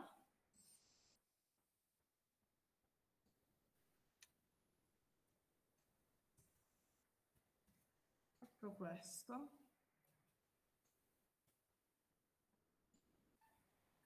per 110. Oh, facciamo questa somma, 150 più 120 quanto fa? 645. Tutta la sommatoria 645, quell'altra viene 555. 145.000, giusto? Sì, certo. Il tutto ok, fratto? Per cento, fratto 110, no? Per fratto 555 viene 127. 5, 5. Sì, per 110 viene 127.837. Almeno così, insomma, la calcolatrice dice. Ok, fina, il prezzo finale quant'è? 127.837. Giusto, l'ho scritto bene? Prego? L'ho scritto bene? Sì, sì, 127.837. E così dice la calcolatrice. quindi perfetto. Allora, questo è il valore di mercato, meglio il valor capitale stimato a partire da un campione di immobili analoghi, vedete dal punto di vista quantitativo, diciamo la quantità oscilla in un range 90-130 metri quadri, di cui conosciamo i prezzi di vendita. Questo è il valore eh, capitale stimato. Diciamo, fatta questa, eh, questo passaggio, non abbiamo ancora terminato il processo per la formulazione del più probabile valore di mercato, in quanto c'è l'ultima fase che dobbiamo ancora mettere a punto, ossia quella legata all'individuazione di eventuali eh, aggiunte o detrazioni da apportare a questo valor capitale. Ragazzi, è chiaro? Sì, sì, grazie. Sì, Ok, quindi eh, diciamo è, è chiaro il procedimento che dobbiamo seguire. Dobbiamo individuare un campione di immobili, di questi immobili dobbiamo conoscere il prezzo di mercato, di ciascuno dobbiamo conoscere il prezzo di mercato, dal prezzo di mercato ovviamente dobbiamo conoscere anche la superficie di la superficie commerciale dobbiamo calcolare la superficie commerciale del nostro immobile e dobbiamo applicare questa relazione che in realtà è una proporzione che mi permette appunto di calcolare il valore di mercato del bene oggetto di stima a partire dai prezzi di beni analoghi, prezzi e superfici commerciali di beni analoghi. Ok? Tuttavia bisogna sempre aggiungere le cantine, i box e i balconi, sempre, giusto? Questo si fa alla fine e lo vediamo Eh. dopo, è l'ultima fase. Adesso facciamo una piccola pausa, Eh. Giusto 10 minuti, eh, e poi andiamo avanti. Cosa faremo? Vedremo con attenzione l'ultima fase, in modo tale che il procedimento di stima monoparametrico lo abbiamo spiegato, diciamo, abbastanza bene, andando nel dettaglio di ciascuna fase passeremo al procedimento di stima pluriparametrico, laddove andremo a spiegare semplicemente, ad illustrare semplicemente i caratteri teorici, non vedremo, eh, diciamo, vedremo il procedimento e capiremo quali sono le differenze rispetto al procedimento monoparametrico. E poi passeremo al procedimento di stima indiretto, vedremo la capitalizzazione dei redditi in maniera anche questa semplicemente teorica, in modo tale che poi vediamo la prossima volta mh, se ci sono dei dubbi, eh, vediamo un po' di approfondire eh, e poi passiamo eh, al valore di costo e poi alle tecniche, alle due tecniche di valutazione economica dei progetti che dobbiamo eh, illustrare e sulle quali poi si basa l'esercitazione. E scusi, Ok. professoressa, prima citava il principio di Enios, ho capito bene? Di Evans, adesso te lo faccio vedere eh, qui. Grazie, sì. Il principio di indifferenza di Evans, cioè in un mercato e in concorrenza perfetta e in equilibrio di lungo periodo, eh, non ci possono essere prezzi unitari differenti. Eh, vabbè, questa è la ragione, risultando infinita l'elasticità della domanda per ogni prezzo. A voi non interessa questo, vi interessa solo sapere che il meccanismo di formazione dei prezzi unitari nell'ambito di una microzona di mercato è sempre il medesimo, cioè le forze che concorrono a formare i prezzi di mercato, i fattori influenti nell'ambito di una microzona di mercato sono sempre gli stessi.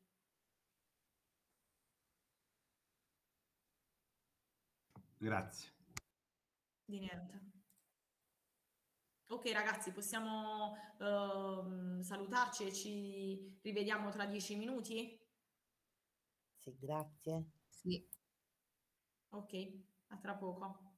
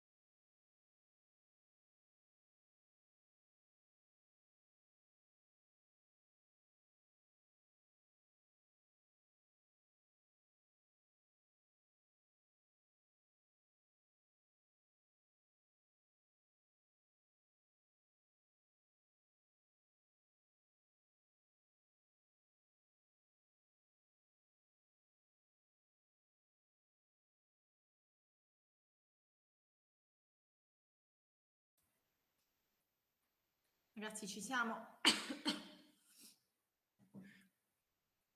Possiamo riprendere?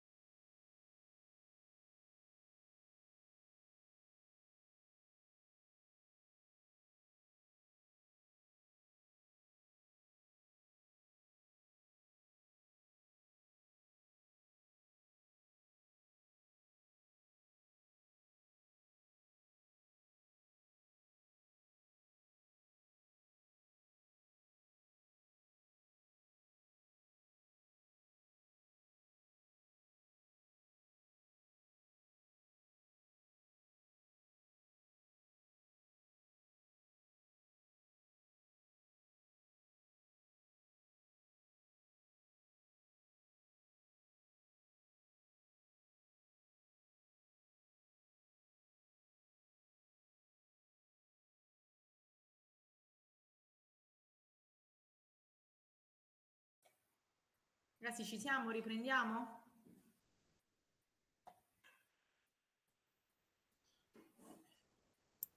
Sì, io ci sono. Eccoci. Ok, allora, eh, quindi dobbiamo, dobbiamo guardare del, delle fasi che abbiamo eh, elencato con riferimento alla stima del più probabile valore di mercato di un immobile a destinazione residenziale, in particolare un procedimento di stima eh, diretto, dobbiamo guardare l'ultima fase, quindi quella relativa alla, eh, alle aggiunte e detrazioni, vi faccio riguardare un attimo le fasi, um, quindi siamo arrivati qui, abbiamo determinato il valore capitale, eh, l'abbiamo fatto con eh, l'esplicitazione, con eh, la risoluzione della proporzione. Adesso siamo nell'ultima fase, aggiunte detrazioni al valore capitale. Allora, quindi perché c'è questa fase? Ce lo siamo già detti, cerchiamo di ribadirlo. Perché eh, c'è un'ipotesi abbastanza, eh, diciamo, forte che eh, prevede che il nostro immobile e il campione di beni analoghi sia, eh, siano perfettamente identici. Uh, ossia noi abbiamo stimato il valor capitale a partire da um, prezzi di altri beni, quindi sulla base dei prezzi degli altri beni analoghi che in, nei mercati reali non prevedono la eh, verifica della condizione di assoluta uguaglianza di tutte le caratteristiche. Che cosa quindi devo fare? Devo verificare le caratteristiche dei beni analoghi e una volta ehm, assicurata la diversità di alcune caratteristiche rispetto a quelli a quelle del nostro bene, devo andare ad identificare eventuali aggiunte o detrazioni da apportare al valore capitale stimato al fine di eh, evitare la sopravvalutazione o la sottovalutazione del mio bene rispetto al campione individuato. Um, L'ipotesi quindi per cui il nostro bene è esattamente identico al campione, ai beni oggetto del campione, in realtà, come abbiamo detto, non è sempre verificata. Questa è un'assunzione, nel senso che va bene procedere in questo modo e partire dai prezzi di un campione di immobili che sono pressoché simili a quell'oggetto di stima, ma devo eh, stare, diciamo, devo porre attenzione a quelle che sono le caratteristiche che potrebbero eh, essere difformi tra il mio bene e il campione di immobili al fine appunto di adeguare il valore capitale e farlo diventare il più probabile valore di mercato eh, appunto eh, da ehm, come risultato della uh, sequenza logica di fasi che ho portato avanti. Devo quindi andare a stimare eventuali aggiunte o detrazioni. Vediamo un po' qual qual è l'obiettivo di questa fase? È quello di adeguare il valore ottenuto nella fase precedente, che abbiamo chiamato valor capitale, alle caratteristiche del bene da stimare. Perché? Perché io cosa ho fatto? In, eh, sulla base dei prezzi dei beni del campione, io ho stimato il mio bene assumendo il mio bene con quelle caratteristiche precise, ossia se tutti i beni del campione non presentano il box auto, ma il mio presenta il box auto, io eh, fino allo step 5, quindi allo step non so se 5, um, fino a questo step 2, 4, 5, sì, 5, io ho stimato il mio bene omettendo questa caratteristica, quindi facendo, eh, diciamo, um, come se nella condizione in cui il mio bene non abbia il box auto. Devo però giustamente riconoscere questa dotazione al mio bene e devo quindi eh, apportare un'aggiunta al mio bene. Um, quali sono le, gli esempi di uh, situazioni per cui è necessario apportare queste aggiunte e detrazioni? Potrebbe essere la presenza o mancanza del box auto, la presenza o mancanza del sistema di riscaldamento, la presenza o assenza di ascensore la presenza di finiture particolari oppure un differente stato manutentivo. Badate bene, questi sono degli esempi, in quanto le eventuali aggiunte o detrazioni possono ovviamente nascere, avere origine da una differente, eh, diciamo, possono avere una differente natura. Questi sono a titolo, a titolo esemplificativo i più, pre, i più eh, frequenti casi in cui si apportano delle aggiunte o detrazioni. Queste inoltre sono delle caratteristiche, e quindi questo dovete all'inizio di questa fase verificarlo, delle caratteristiche che sono apprezzate dal mercato e quindi considerate sul mercato locale per la formazione dei prezzi di vendita. Allora, due situazioni, quindi prendiamo um, come esempio prima, uh, il primo caso. Il nostro immobile ha il box auto eh, quelli, gli immobili del campione non hanno il box auto.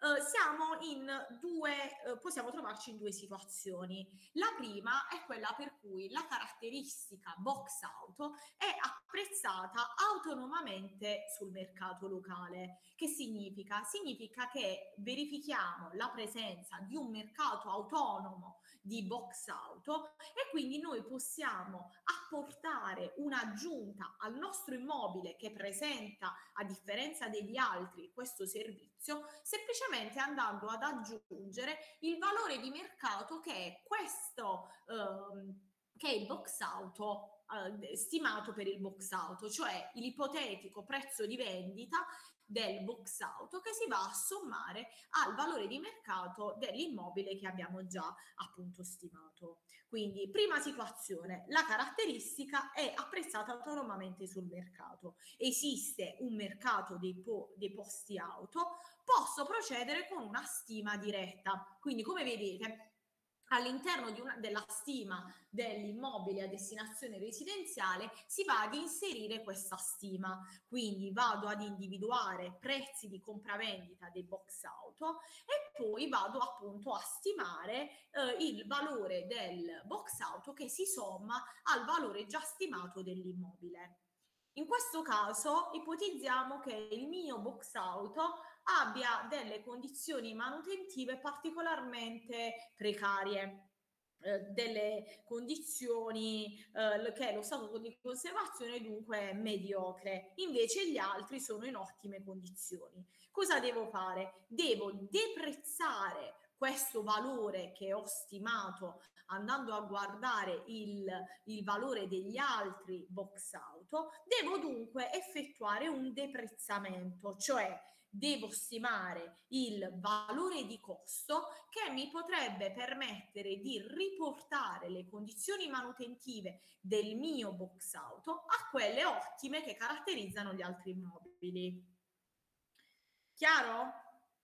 Chiaro ragazzi questo, questa situazione? Quindi sono nella situazione in cui il mio immobile ha il box auto, il mio immobile eh, ehm, ha questa dotazione in più che io devo riconoscere, altrimenti vado a sottovalutare eh, il valore del, dell'immobile e questa caratteristica, quindi il box auto, è apprezzata sul mercato, tant'è che esiste un mercato di box auto. Mi pongo sul mercato dei box auto e um, avvio una stima diretta. Questa stima diretta è effettuata andando a stimare il valore di mercato del mio box auto sulla base di prezzi di compravendita dei posti auto nella zona, quindi recentemente compravenduti nella zona. Se abbiamo fatto un ulteriore passo in avanti, c'è una differenza molto marcata tra le condizioni manutentive del mio posto auto, del mio box e quella di quelli eh, scelti come riferimento, attraverso il costo di riproduzione deprezzato vado ad adeguare le, il uh, valore di mercato stimato proprio attraverso il valore di costo che diciamo, mi permetterebbe di avere, di rimettere a nuovo il mio box auto. Chiaro questa, chiara questa situazione? Chiara. Vediamo un altro caso. Ipotizziamo sempre di essere in una situazione per cui esiste un mercato dei box auto, però non ci sono prezzi di compravendita. Quindi io ho verificato che eh, i, i box auto nella zona in cui si trova il mio immobile vengono venduti, c'è effettivamente questo mercato, però nell'ultimo periodo questo mercato è statico, quindi io non riesco a individuare dei prezzi di compravendita recenti di immobili effettivamente di box auto effettivamente similari al mio.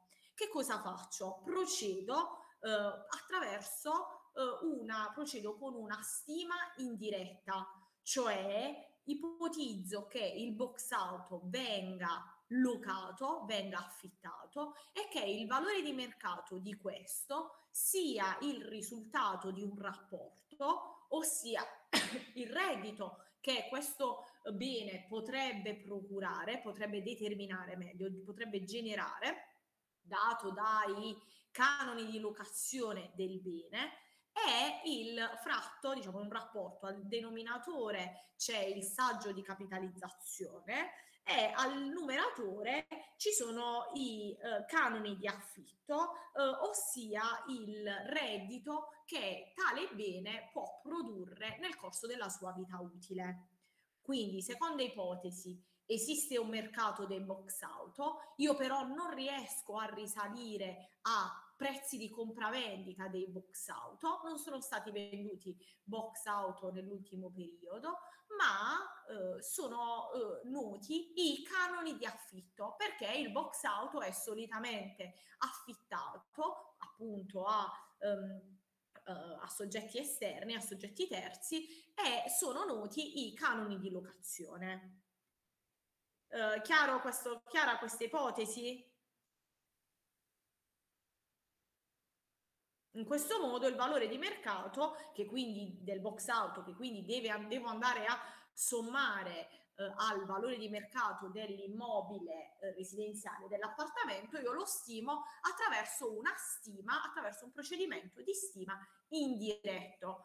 Eh, dopo vedremo come si fa, cioè il valore di mercato è uguale al rapporto reddito eh, che il bene può produrre nel corso della sua vita utile, derivante dunque dal canon, dai canoni di locazione, fratto un saggio di capitalizzazione che diciamo, vi dovrebbe portare subito alla memoria al, Uh, alla matematica finanziaria in quanto uh, diciamo sono canoni che maturano in istanti temporali differenti.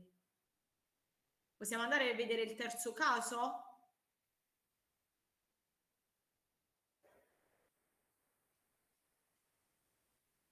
Ragazzi, possiamo? Sì, sì. Ipotizziamo che la caratteristica presenza del box auto non, ha, eh, non abbia un mercato autonomo. Che significa? Significa che siamo in una zona in cui i box auto sono eh, poco considerati in quanto è facile trovare parcheggio per strada oppure la maggior parte eh, dei, degli immobili ha già di pertinenza un box auto e quindi in realtà sono pochi i potenziali acquirenti interessati all'acquisto solo di questa dotazione. Perché o eh, questi soggetti non sono interessati perché vi è una rilevante facilità di trovare parcheggio per strada, oppure eh, ogni immobile residenziale, ogni unità eh, residenziale viene costruita già con un box auto di pertinenza e quindi non è eh, attivo un mercato eh, sì, diciamo dei box auto singoli. Che cosa devo fare in questo caso? Devo in ogni caso riconoscere al mio immobile la presenza del box auto. Come? Facendo rientrare la superficie del box auto nella superficie commerciale quindi andando a omogenizzare attraverso degli opportuni coefficienti di omogenizzazione la superficie del box auto nella superficie che io ho già calcolato laddove sono rientrati, non lo so, balconi, sono rientrati eh, terrazzi, cantine, deve rientrare anche il box auto. In questo modo io devo rieffettuare il calcolo, la risoluzione di questa eh, superficie commerciale, con però la superficie dell'immobile che sarà maggiore. In questo modo, di conseguenza, il valore di mercato dell'immobile, il valore capitale sarà più grande e in questo modo io ho riconosciuto la dotazione del box auto all'immobile oggetto di stima. Chiaro? C'è qualcuno di voi che vuole ripetere i tre casi così vediamo se li abbiamo uh, individuati in maniera corretta, se li abbiamo spiegati in maniera corretta?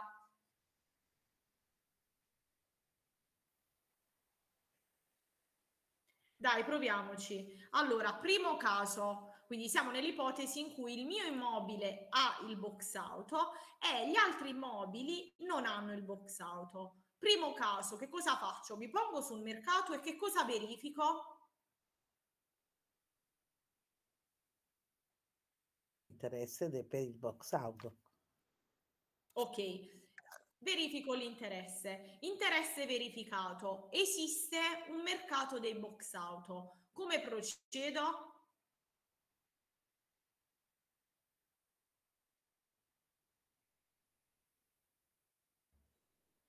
Lo aggiungo. Cerco il valore. Come? Cerco il valore d'aggiunta. Ok, mi va bene. Eh, cancelliamo questo cerco però. Determino ah, il valore. A, a, a determino. Bene. Determino il valore di mercato. Ok Massimo, come? Mi pongo sul mercato e vedo, vado ad individuare prezzi di compravendita di box auto recentemente compravenduti nella stessa microzona. Sì. Mi pongo sul mercato e mi accorgo che un, esiste un mercato autonomo dei box auto, però non, ho, non riesco a rilevare prezzi di compravendita. Come procedo? Secondo caso. Con i prezzi di locazione dei box auto. Perfetto, con i prezzi d'uso di locazione oppure canoni di locazione. Quindi vado a vedere nel corso della sua vita utile quale potrebbe essere il reddito producibile, diciamo che potrebbe essere prodotto da quel box auto. Perfetto, lo vado ad aggiungere sempre al valor, cap- al valor capitale stimato dell'immobile. Ottimo. Terza soluzione. Mi accorgo che un mercato dei box auto non c'è perché in realtà c'è uno scarso interesse, come diceva Simona, per i box auto perché è facile trovare parcheggio in strada o perché eh, diciamo non c'è questa, ehm, questo bisogno, questa esigenza di acquistare il box auto. Quindi come faccio a riconoscere al mio immobile bo- il, la, la presenza di questa pertinenza? Come faccio? Eh, lo inserisco nel valore commerciale dell'immobile. Ok.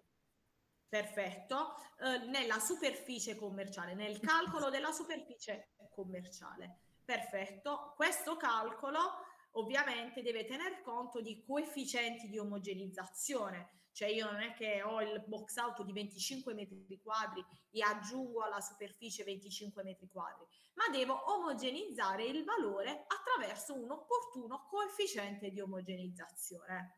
Ok, Emanuela, ottimo, perfetto. Possiamo fare un altro esempio? È chiaro a tutti? È chiaro quindi questo, questa panoramica delle possibilità? Sì. Sì. Ok, Ipote- ovviamente diciamo è al contrario se ci troviamo nella situazione opposta, eh, gli immobili eh, hanno il box out e il mio no, è esattamente opposto, devo riconoscere una detrazione al mio immobile, altrimenti lo vado a stimare come se avesse il box auto e andrei a dire una cosa errata. Presenza dell'ascensore, ipotizziamo che il mio, ah, il mio immobile è dotato di ascensore, gli altri no. Come faccio a riconoscere al mio immobile la presenza di questo ascensore? Questo è diciamo, un procedimento che dobbiamo seguire, eh, ascoltatemi. Vado in primis a stimare il costo necessario per l'installazione dell'ascensore. Ok? Ipotizziamo 30.000 euro. Che vuol dire? Vuol dire che gli altri, ehm, diciamo, gli altri affinché eh, siano esattamente uguali al mio, dovrebbero considerare questo costo di installazione dell'ascensore. Ovviamente questo costo non dovrebbe essere considerato così com'è, perché magari nel mio fabbricato c'è l'ascensore, ma è un ascensore già utilizzato, non è un ascensore nuovo. Quindi che cosa vado a considerare? Vado a considerare il costo a nuovo dell'ascensore e poi lo vado ad abbattere di una percentuale al fine di ottenere un costo di riproduzione deprezzato di questo ascensore. Ok? Quindi prima operazione che devo compiere è la stima del costo di uh, installazione dell'ascensore. Cioè il mio immobile è come se avesse già sostenuto questo costo perché c'è già l'ascensore. Questo costo però non deve essere preso nella sua totalità perché l'ascensore nel mio immobile non è di nuova realizzazione. Cosa devo fare dunque? Devo considerare un costo si chiama tecnicamente di riproduzione deprezzato, ossia che tiene conto degli anni, del periodo di tempo in cui tale servizio è stato già adoperato, è stato già utilizzato. Questo si fa attraverso delle tabelle, adesso non entriamo nel merito. Quindi il eh, costo lo vado a stimare in questo modo, diciamo l'aggiunta che devo eh, porre al mio immobile il costo di installazione meno il valore residuo, cioè il valore finale residuo che solitamente è uguale a zero, cioè quale sarebbe il costo alla fine della sua vita utile, fratto il numero di anni, ossia la durata del bene che è scritto sulla scheda tecnica, cioè sulla scheda tecnica vi dice l'ascensore scri- eh, costa tot e solitamente ha una vita utile media pari a 20 anni. Ok? Quindi la, eh, l'abbattimento è uguale a questo rapporto, cioè il costo a nuovo di costruzione, di installazione eh, nu- a nuovo, meno il valore finale, cioè il valore residuo um, dell'immobile, solitamente, de, no dell'immobile, della, del servizio, della dotazione solitamente uguale a zero, fratto il, la durata in anni del bene. Questo è il, um, diciamo, la, l'ammortamento tecnico, diciamo, cioè quanto eh, l'immobile, quanto il eh, costo per la, l'installazione dell'ascensore deve essere deprezzato per riconoscere il numero di anni in cui ha già funzionato. Facciamo un esempio numerico in modo tale da non sbagliarci.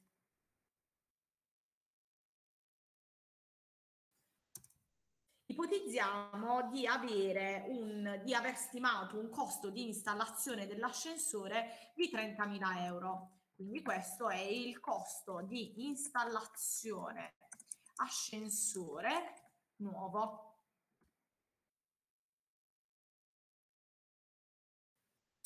Oh, poi ipotizziamo che il vabbè, valore residuo questo ve lo metto, però vi ho detto solitamente è uguale a zero, però diciamo è bene metterlo, valore residuo dell'ascensore è zero, cioè l'ascensore al termine della sua vita utile vale zero, valore residuo uguale zero.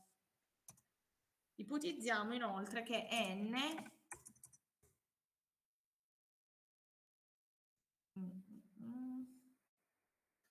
sia quanto ho messo 40 40 anni.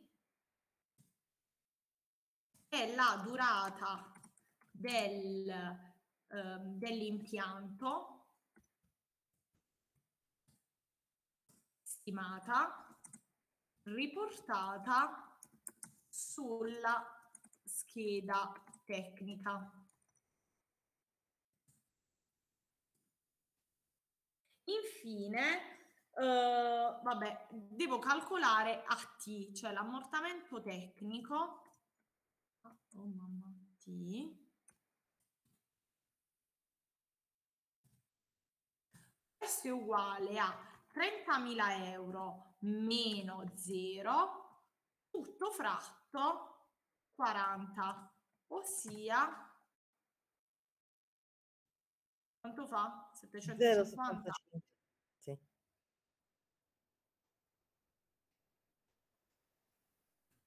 750.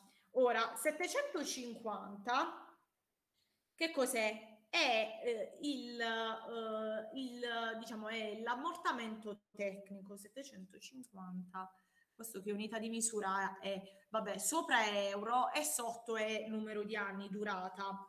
Uh, questo qui lo devo poi deprezzare perché poi io devo tener conto del fatto che, che l'ascensore nel mio immobile è stato utilizzato per 15 anni. Quindi questo 750 lo devo moltiplicare per 15 perché il mio in, eh, ascensore nel mio immobile è stato utilizzato, nel mio fabbricato è stato utilizzato per 15 anni, cioè 11.250. Um, ehm, questo lo devo andare a sottrarre infine a 30.000 euro, cioè 30.000 euro meno 250 euro fa 18.750 euro, è esattamente il costo di riproduzione deprezzato dell'ascensore che io devo riconoscere al mio immobile perché il mio immobile rispetto agli immobili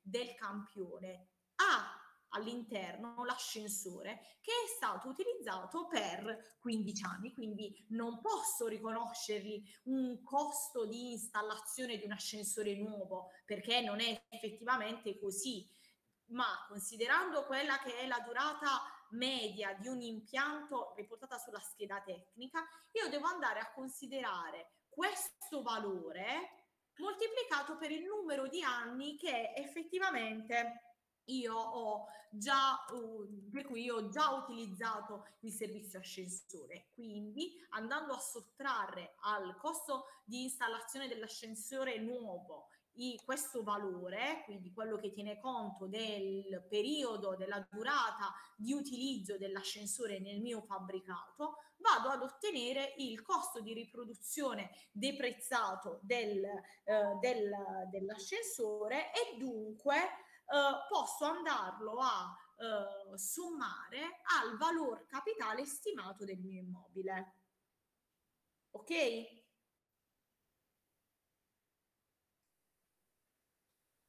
Quindi questo è il costo di installazione dell'ascensore nuovo. Questa è la durata dell'impianto stimata, solitamente massimo 40 anni. In questo modo ottengo 750, cioè l'ammortamento tecnico, devo considerare rispetto a questo il numero di anni in cui l'immobile, in cui eh, l'ascensore è stato già utilizzato, ossia 15 anni. 11.250 è il eh, deprezzamento subito in 15 anni di utilizzo dell'ascensore. Ok?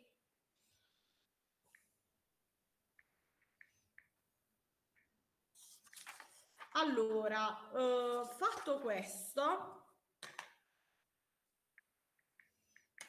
abbiamo spiegato un po' anche eh, la presenza dell'ascensore. Vediamo se avevo altri esempi.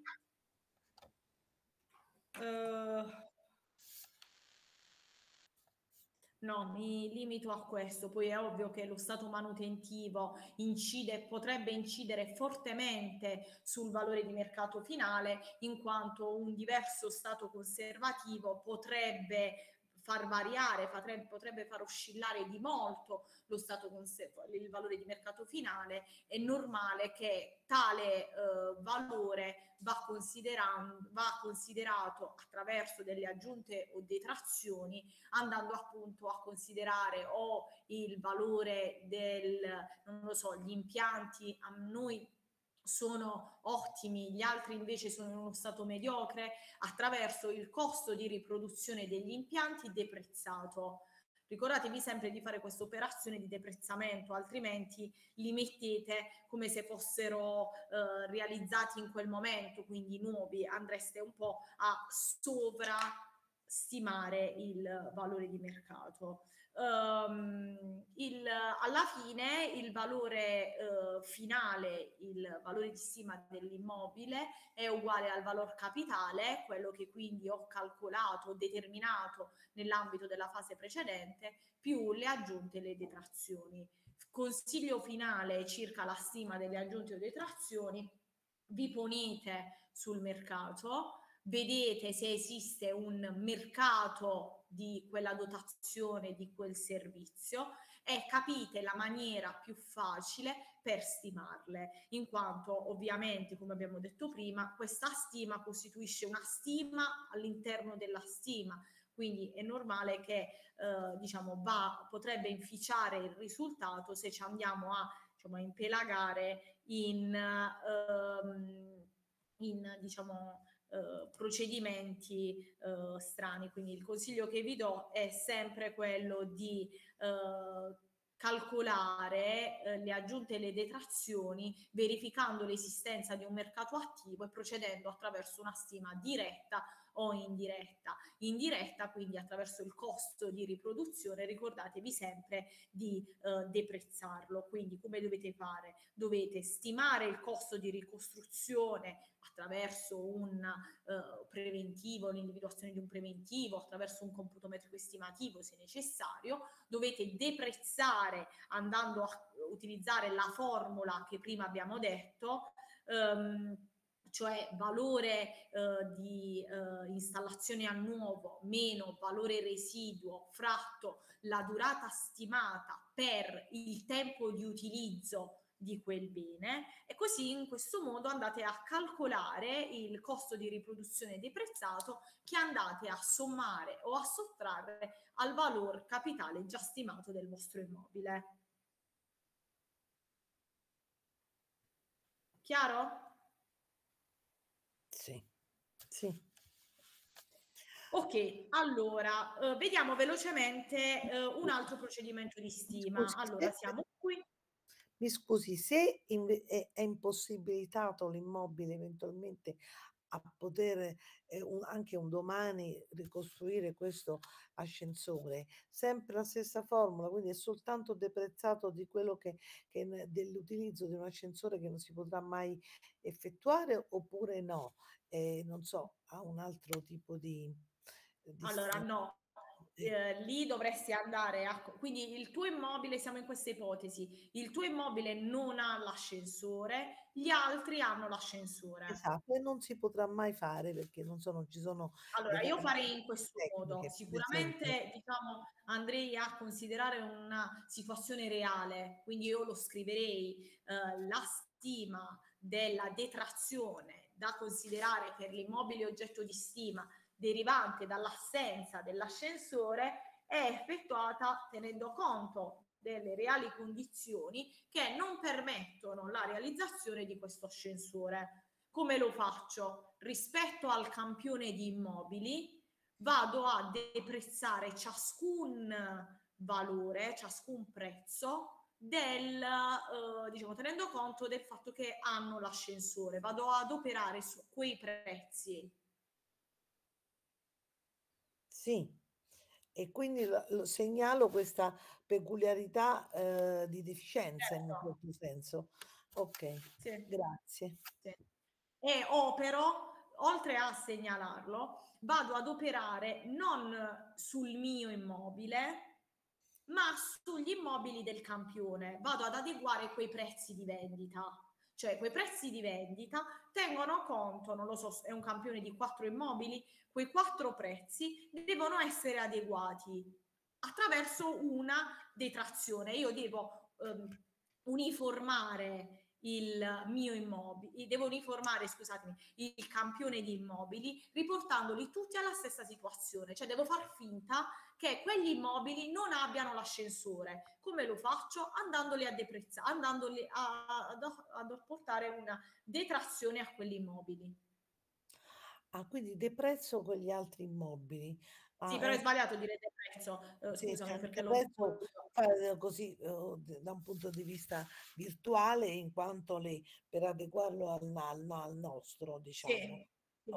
Obiettivo avere un campione omogeneo al mio immobile, perché io sul mio non posso andare ad apportare delle modifiche, non si potrà mai realizzare, non si potrà mai costruire l'ascensore. A meno che, diciamo, però l'importante è essere chiari nella relazione, tu lo scrivi, il, la presenza dell'ascensore eh, nel, nei, negli immobili eh, presi nel campione eh, è... Ehm, assicu- diciamo, è valutata considerando una ipotetica eh, costruzione di tale servizio nel mio immobile. Si precisa però che tale situazione non potrà essere verificata in quanto non ci sono i termini, so, tecnici per eh, la realizzazione dell'ascensore. Quindi in ogni caso fa in quel modo, però lo espliciti, cioè lo dici, vedete che io l'ho fatto in questo modo, ma questa situazione non si potrà mai verificare. Perfetto, grazie. Ok, di niente. Allora, eh, adesso vediamo il procedimento di stima pluriparametrico. Ci siamo detti che la stima diretta può essere effettuata sulla base di un, di un um, un parametro di riferimento oppure più parametri di riferimento. Se la stima è svolta sulla base di più parametri di riferimento, abbiamo, siamo in presenza del procedimento di stima pluriparametrico e in particolare ci sono più parametri, non solo la superficie commerciale, che sono eh, presi in considerazione per lo svolgimento della stima. Quando si uta, utilizza questo procedimento? Quando i beni analoghi e il bene oggetto di stima presentano una serie di differenze, molteplici differenze. Quella che vedete qui sotto è una relazione che abbiamo già visto eh, in passato in cui il prezzo è funzione di una serie di caratteristiche. Questo procedimento parte proprio da questa considerazione. Il prezzo di vendita è funzione di una serie di caratteristiche. Ora, caratteristiche che abbiamo già detto, abbiamo imparato a chiamare, diciamo, in maniera corretta, intrinseche ed estrinseche. Quindi il prezzo è funzione della superficie, è funzione del livello di piano, è funzione della panoramicità, ma è anche funzione del livello di accessibilità, è funzione del grado di rumorosità, è funzione della presenza di vincoli che ci sono, che sono apposti sul, sull'immobile, insomma di una serie di caratteristiche che vengono considerate da compratori e venditori nelle fasi di negoziazione, nelle fasi di vendita. Il procedimento di stima eh, pluriparametrica, abbiamo detto, quindi viene messo in campo quando il bene da stimare e i beni analoghi presentano più eh, caratteristiche. Eh, diversi, eh, esistono diversi procedimenti di stima pluriparametrica, eh, in particolare la stima per punti di merito, chiamata anche Sales Comparison Approach, il Market Comparison Approach e il sistema generale di stima. Um, Adesso noi vediamo, eh, ci soffermiamo sul primo e quindi illustriamo, elenchiamo i eh, punti, eh, no i punti, le fasi eh, che appunto vengono eh, implementate per la stima per punti di merito, quindi per l'implementazione di un procedimento di stima pluriparametrico per punti di merito. Allora, questi sono i uh, principali uh, step da seguire per uh, tale um, procedimento. Come vedete, ovviamente, ci inseriamo in questo... No, non è questo... Ok, qui datemi un attimo. Ci inseriamo in questo um, schema con diciamo, i tre già eh, tre, i tre step già eh, eseguiti in quanto già sappiamo qual è l'aspetto economico da eh, guardare e quindi il criterio di stima, siamo nella fase in cui scegliamo, tra virgolette, il procedimento di stima, scegliamo un procedimento di stima diretta e scegliamo quello pluriparametrico. Quindi vediamo un attimo le fasi. La prima fase è sempre la medesima, conoscenza del bene. Io diciamo, aggiungo sempre conoscenza approfondita del bene, al fine di analizzare il bene in tutte le sue caratteristiche tecnico, giuridico-economiche e quindi intrinseche ed estrinseche. Conosciuto il bene e quindi analizzato in ogni sua sfaccettatura, io vado ad individuare, e l'abbiamo già fatto prima, il, i caratteri che le caratteristiche che nella microzona di mercato in cui si trova il bene da stimare sono considerate da compratori e venditori nel corso della, delle contrattazioni. Che significa? L'abbiamo già detto, mi pongo sul mercato e vado ad analizzare i fattori influenti nei processi di formazione dei prezzi di vendita che appunto eh, afferiscono a quella zona di mercato e quindi potrebbero essere il livello di piano, potrebbe essere il, la panoramicità, potrebbe essere la superficie, insomma tutti quei fattori che um, uh, influ- influiscono, influenzano i prezzi di vendita. Uh, una volta che ho um, individuato questi caratteri, mi pongo sul mercato e uh, verifico la presenza di, uh, di, un mercato attivo e quindi di un campione di beni analoghi che possono essere presi come riferimento. Mi accorgo che esistono dei beni analoghi, quindi raccolgo un campione di beni analoghi al bene da stimare che appartengono alla stessa microzona di mercato, recentemente compravenduti di prezzo e caratteri noti. Tra questi, però, mi accorgo che non c'è un campione eh, per cui vale l'ipotesi che abbiamo detto prima, cioè che sono campioni immobili analoghi, perfettamente analoghi, le cui caratteristiche sono esattamente le medesime eh, quelle, di quelle che, di cui è dotato il mio immobile. Quindi mi accorgo che questa ipotesi non, diciamo, non va bene, non posso utilizzare un solo parametro di confronto perché non tutte le caratteristiche sono tra di loro simili cosa faccio? Tra i campioni, eh, tra gli immobili, scusatemi, del campione stimativo che sono, andato, sono andata a individuare, seleziono quello che chiamo immobile ordinario. Adesso capiamo che cos'è. Per ciascuna categoria di caratteri poi che ho eh, considerato, che ho individuato che sono fondamentali per la formazione dei prezzi di, di, di, prezzi di vendita, vado a individuare dei punti di merito, vado a determinare i punti di merito. In particolare eh, vado a attribuire i punti di merito al mio immobile al fine di attribuire, di determinare un coefficiente di riduzione o di maggiorazione da applicare al prezzo unitario di vendita dell'immobile ordinario. Quindi, una volta che ho eh, determinato tutti i fattori influenti nei processi di formazione dei prezzi, vado a selezionare un campione di immobili. Tra questi immobili seleziono l'immobile ordinario, cioè quello che um, presenta i caratteri in maniera più frequente. Fatto questo, per ciascuna categoria di caratteri, quindi accessibilità, eh, rumorosità, vado ad attribuire un punto di merito, cioè il, um, or- l'immobile ordinario eh, ha un livello di accessibilità 8, ha un livello di rumorosità 7 la stessa operazione di attribuzione dei punti di merito la faccio con riferimento all'immobile oggetto di stima. In questo modo faccio la somma di tutti i punteggi e determino un coefficiente maggiorativo o riduttivo che devo applicare al prezzo di vendita dell'immobile ordinario. In questo modo determino il valore di mercato dell'immobile oggetto di stima. Allora, andiamo con ordine in modo tale che teoricamente lo spieghiamo.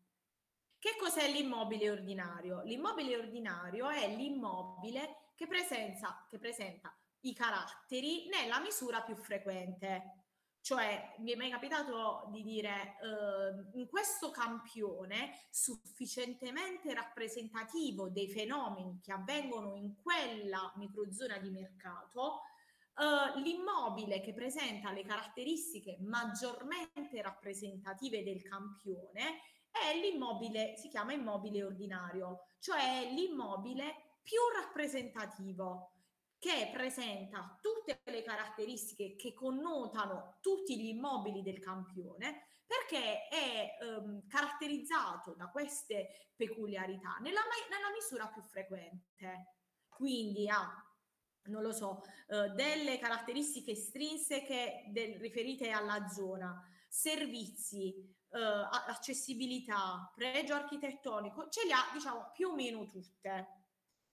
Che cosa devo fare? Devo sia per l'immobile ordinario, quindi in questo, eh, attraverso questo procedimento, dei, eh, degli immobili del campione, dei diversi immobili del campione, 5, 6, 7, io poi continuo a lavorare solo con un immobile, cioè l'immobile ordinario, degli altri, cioè gli altri li metto da parte, lavoro e quindi procedo con le caratteristiche che ho selezionato, quelle che risultano le caratteristiche maggiormente influenti nei processi di formazione dei prezzi immobiliari, con l'immobile ordinario, cioè quello per cui li, eh, le caratteristiche eh, si verificano nella misura più frequente, e con l'immobile da stimare.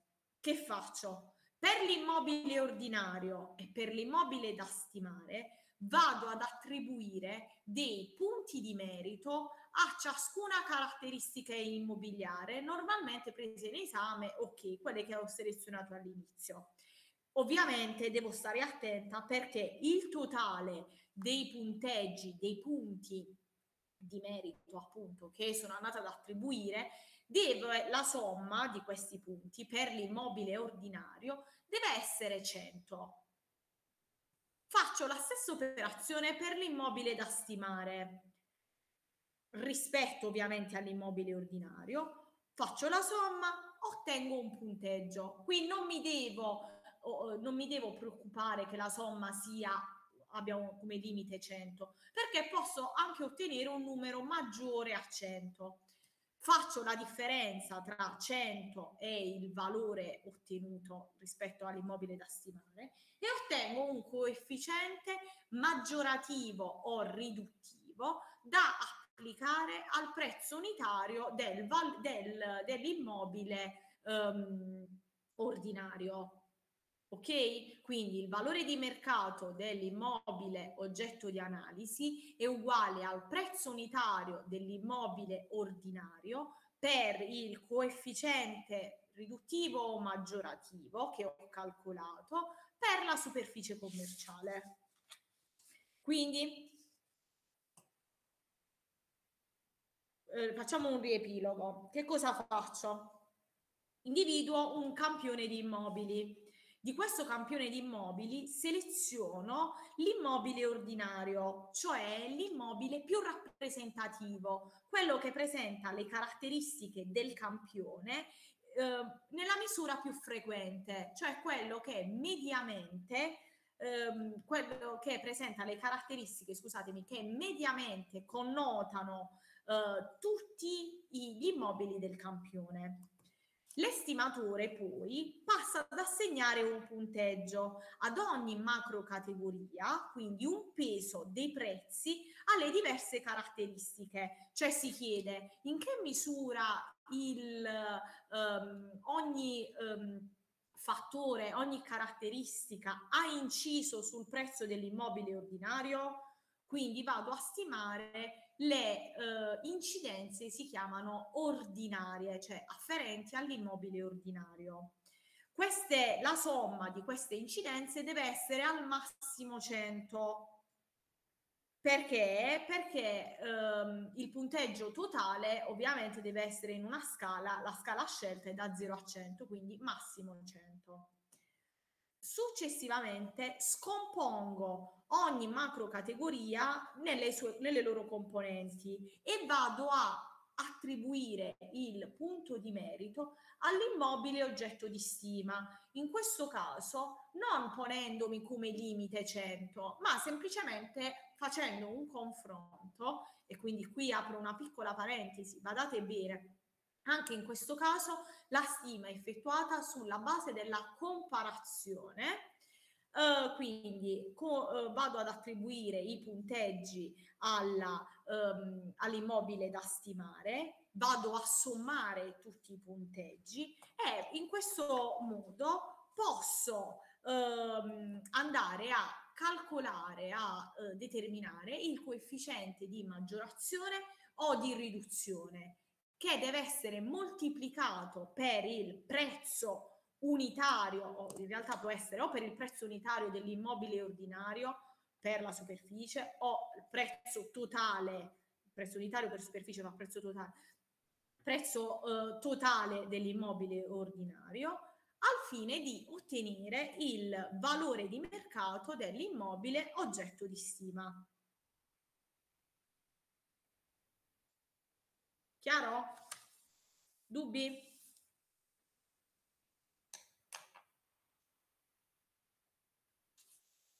Volete vedere un esempio?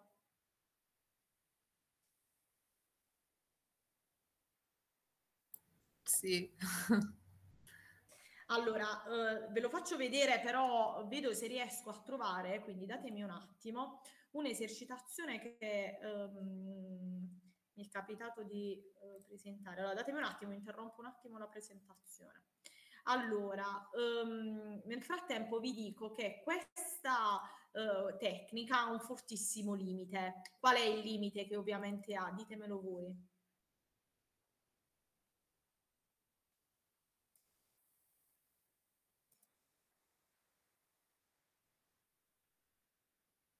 Qual è secondo voi il limite che ha?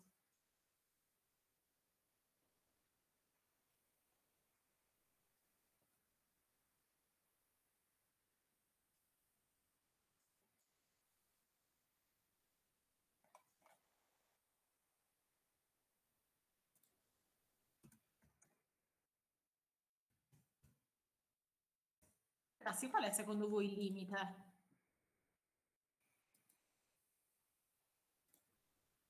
Non vi viene in mente? Quale potrebbe essere il limite? è fortemente soggettivo, è un, cioè, per quanto possa essere bravo, esperto eh, il, il, il, valutatore, è soggettivo. Il eh, valutatore si trova a dover individuare le caratteristiche maggiormente influenti e vabbè, lo fa consultando gli operatori del mercato, lo fa ovviamente coadiuvato, supportato da delle fonti informative, lo dicevamo prima, affidabili e va bene. Ma poi si trova a dover attribuire dei punteggi, dei numeri, basta dare dei punteggi differenti, alla fine viene fuori un coefficiente differente e ci troviamo in una condizione in cui la stima risulta essere non, eh, non valida.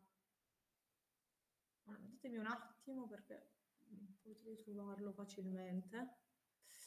Ok, l'ho trovato. Allora, uh, vi faccio vedere quindi questo, ragazzi, in maniera ovviamente molto veloce, nel senso che uh, diciamo, a noi serve semplicemente sapere un po' uh, qual è la prassi teorica da seguire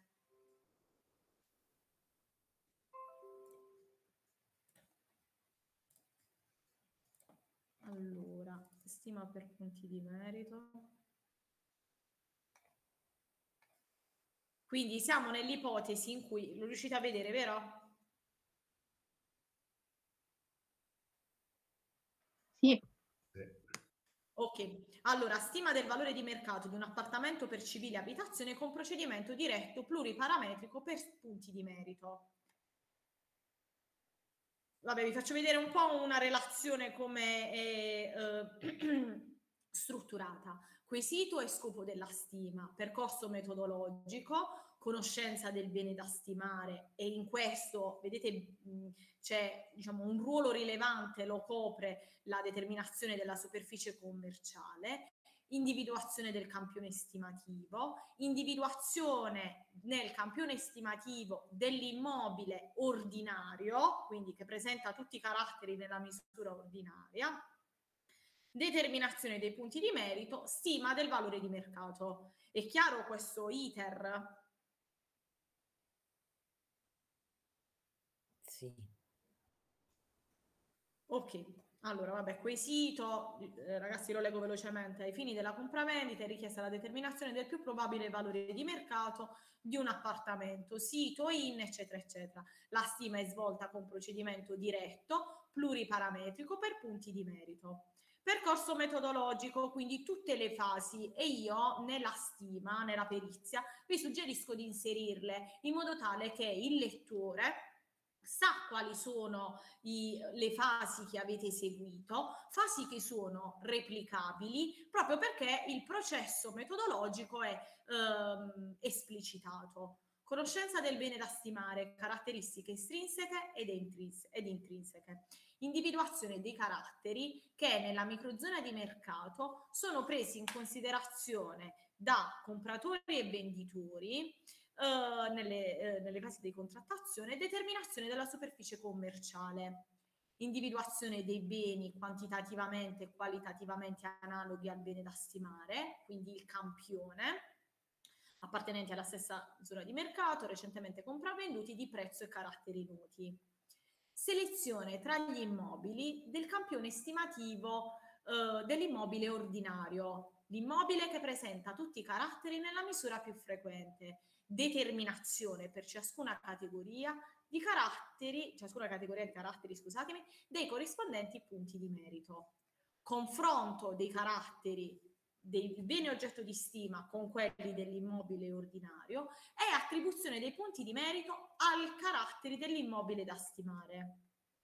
Somma dei punteggi per l'immobile oggetto di stima e quindi determinazione del coefficiente riduttivo maggiorativo da applicare al prezzo unitario di vendita, determinazione del valore di mercato con la stima eh, oggetto di stima con l'applicazione del coefficiente riduttivo maggiorativo al prezzo di vendita dell'immobile ordinario. Ok, chiare le fasi?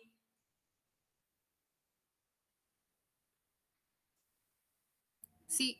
Ragazzi, Ok, allora ora sulla conoscenza del bene da stimare, diciamo non mi soffermo, si fa una fase di identificazione, dati catastali, si illustra un po' le caratteristiche, si illustrano le caratteristiche estrinseche, quindi dove ci troviamo, si parla delle infrastrutture e delle attrezzature, di com'è il quartiere, eh, quindi della tipologia residenziale, della tipologia edilizia prevalente, si parla dell'edificio, prima dell'edificio, badate bene, cioè si va da una scala, ehm, diciamo dalla scala urbana eh, del quartiere in realtà, man mano si scende di scala, quindi si finisce all'edificio, poi si va alla, alle, alle caratteristiche intrinseche, in particolare alla dimensione. Vedete, calcola prima la, la superficie utile netta, poi la superficie commerciale lo farà dopo. Posizionale, quindi appartamento situato al secondo piano, dove si trovano le camere, quindi vedete gli affacci,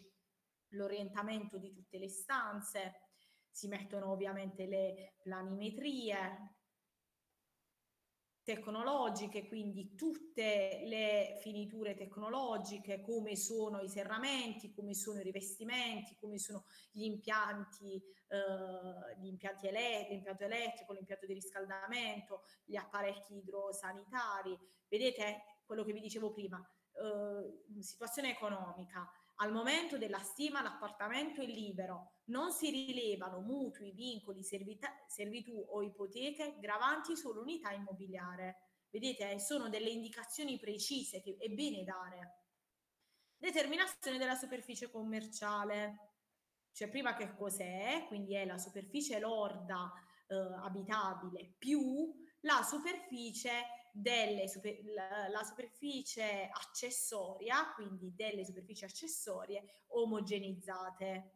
Ok? Totale delle superfici accessorie omogenizzate. Si fa prima la superficie lorda e quindi lui la calcola quella omogenizzata, eh, vedete, ha adoperato 0,20 per tutti i tipi di superficie, in particolare per i quattro balconi, e dice, perché è bene indicare la fonte eh, che ci ha permesso di rilevare tale dato, si indica eh, sul mercato di riferimento è adoperato il coefficiente 0,20, vuol dire che sono stati consultati gli operatori del mercato e questi hanno indicato tale coefficiente.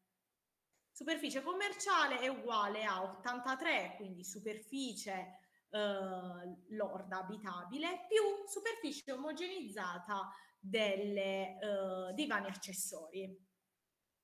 Campione estimativo, ragazzi, è chiaro fino qui? Ditemi se dobbiamo rivedere delle cose, ci permettono anche di riguardare cose che abbiamo detto prima.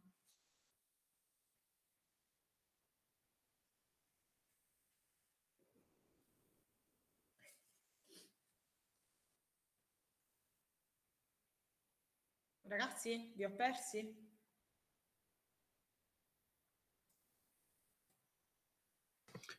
Mi sembra chiaro, professoressa, fino adesso. Ok, a parte Massimo? Sì. Ok, fermatemi se c'è qualcosa da riguardare.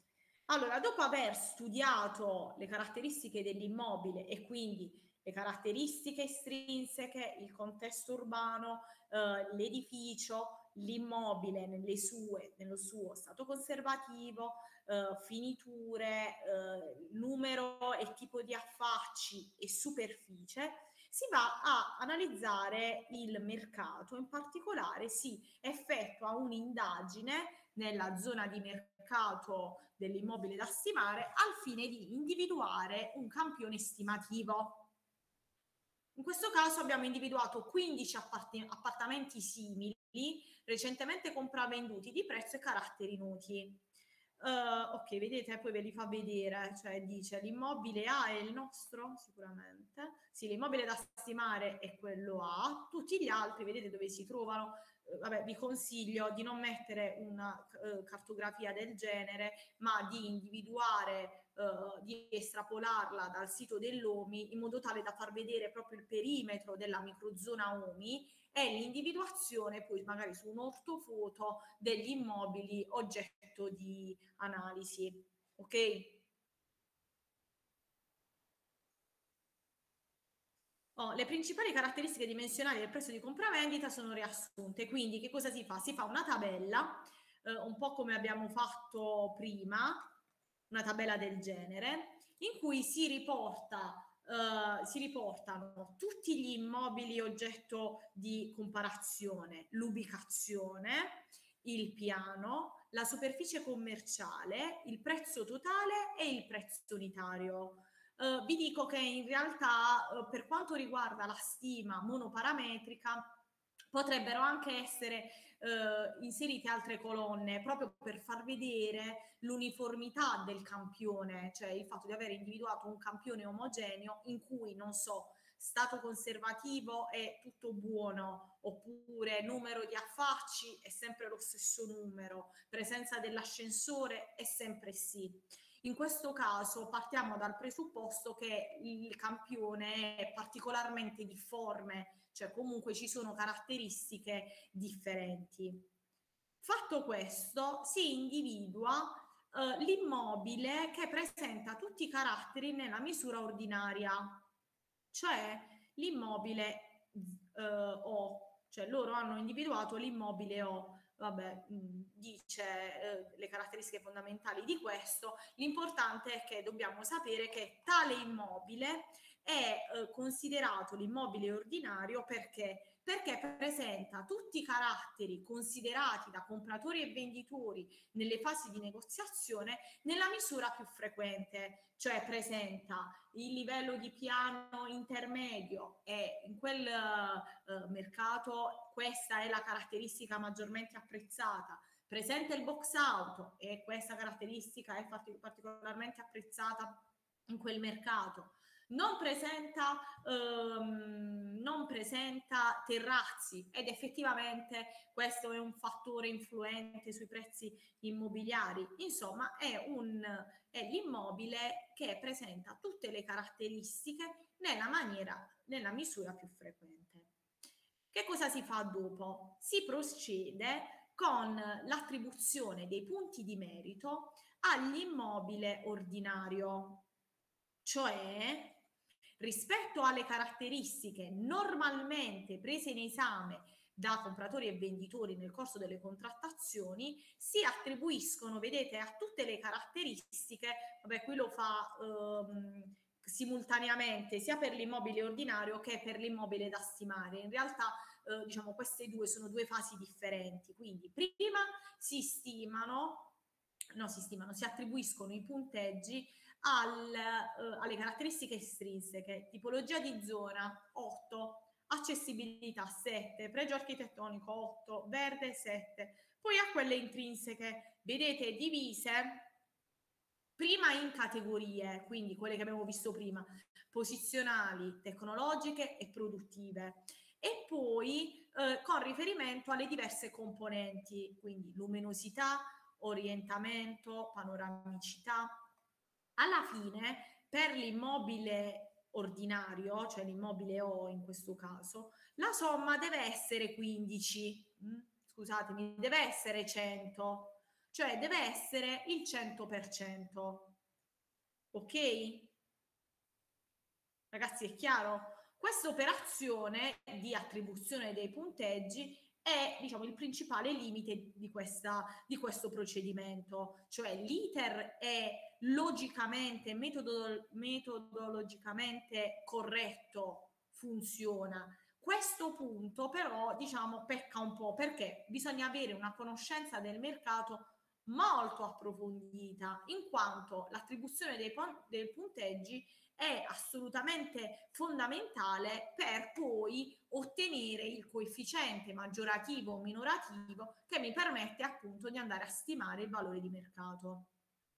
Fatto questo sui ehm, scusatemi, sui, eh, sull'immobile ordinario si fa la stessa operazione di attribuzione dei punteggi rispetto all'immobile oggetto di stima, quindi delle caratteristiche estrinseche non ci si preoccupa del punteggio che deve essere al massimo 100, ma si attribuiscono dei punteggi rispetto all'immobile ordinario. Tipologia di zona, lì avevamo messo 8, qui mettiamo 7. Accessibilità 6, pregio architettonico 7, verde 6, insomma alla fine si, aggiung- si eh, sommano tutti i punteggi e si raggiunge un punteggio complessivo di 85. Attraverso il calcolo del differenziale dello scarto tra 100 afferente all'immobile ordinario e 85 afferente all'immobile oggetto di stima, si ottiene un differenziale. Questo differenziale è uguale al coefficiente maggiorativo o minorativo, in questo caso minorativo perché 15, diciamo, è, diciamo l'immobile ordinario è, eh, per l'immobile ordinario abbiamo ottenuto un punteggio più basso e questo 15 vedete lo andate mh, mm, vabbè qui hanno fatto 0,85 quindi 100% meno 15 lo andate a moltiplicare per il valore era O per questo cioè il prezzo unitario dell'immobile ordinario. Quindi andando a moltiplicare il prezzo unitario dell'immobile ordinario per il coefficiente riduttivo o maggiorativo per la superficie dell'immobile ordinario otterrete il valore di stima dell'immobile oggetto di analisi. La stessa cosa la si può fare non considerando il prezzo unitario, bensì direttamente il prezzo totale. Cosa ci dice qui?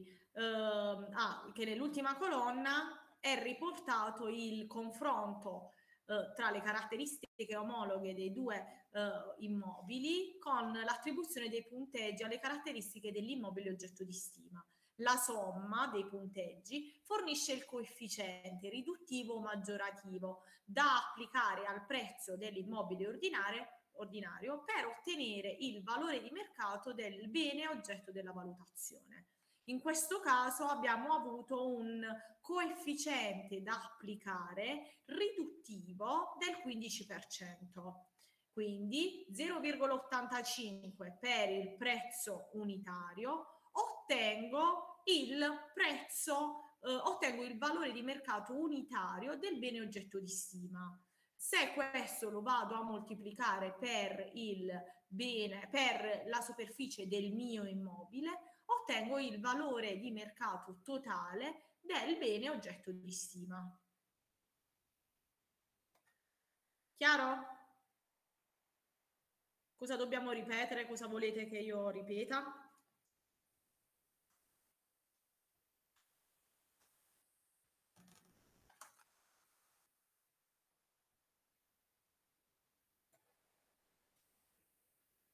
Ragazzi, cosa volete che io ripeta?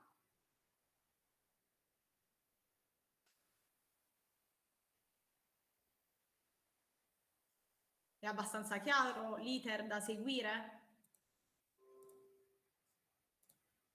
Sì. Almeno le, le fasi sono chiare? Sì, sì. Ok. Metterà diciamo, anche questo documento nel, nella cartella, professoressa?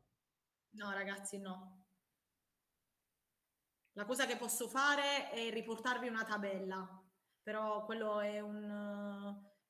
No, quel documento non lo posso mettere però vi posso mettere una tabella, cioè vi faccio una tabella e quindi vi metto, vabbè, vi stralcio proprio quella tabella. Tanto la, le prime fasi le abbiamo eh, comprese, giusto? Sì, sì.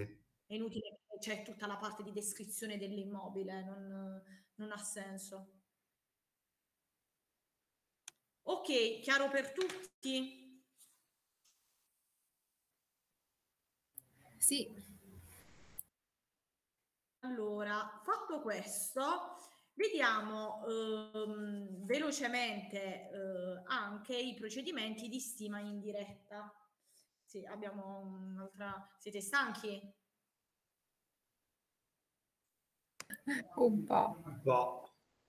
Un po'. Allora, um, introduco un po' questa, questo argomento, poi magari lo riprendiamo la prossima volta però eh, devo andare un po' avanti.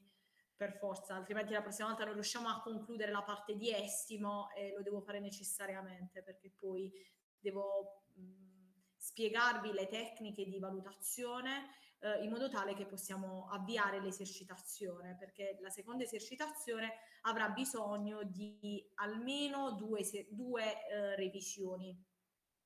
E quindi, considerando che però poi la dovete... Eh, qual è l'ultimo giorno delle lezioni?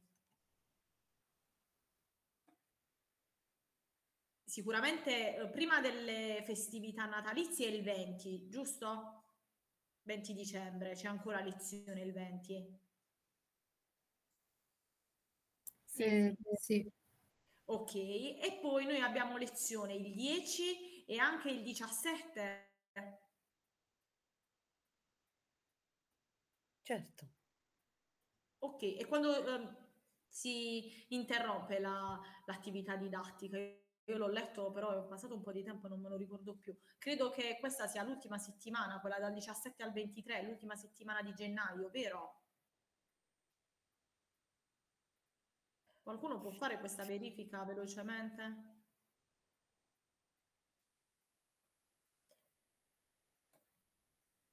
Ok, quindi stiamo dicendo, eh, così come abbiamo visto i procedimenti di stima diretta, eh, vediamo un attimo quelli di stima indiretta.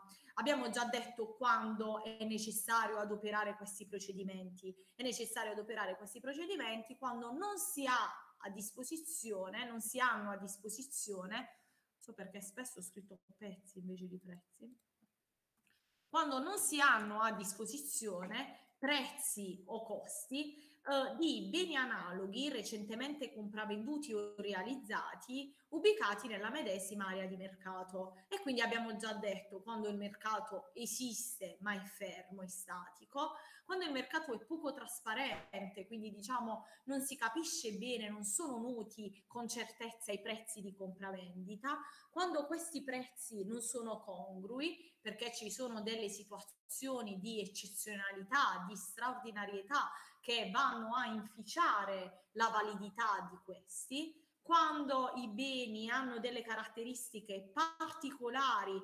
economico-giuridiche che diciamo, eh, mi indicano, mi indirizzano verso eh, l'adozione di procedimenti di stima indiretta. E infine se esistono, in, se siamo in presenza di norme specifiche che indicano in maniera precisa quale procedimento di stima indiretta ad operare. E dunque per, abbiamo già detto con riferimento al codice degli appalti con, eh, per il valore di costo a seconda del livello della progettazione per la progettazione eh, definitiva ed esecutiva si procede con un computo metrico estimativo. È lo stesso riferimento normativo che mi indica in questa, eh, questa cosa, quindi come procedere. Allora, per quanto riguarda i procedimenti di stima indiretta per la determinazione del più probabile valore di mercato di un bene, si procede con la capitalizzazione dei redditi. Voi avete già sentito parlare sicuramente di capitalizzazione dei redditi.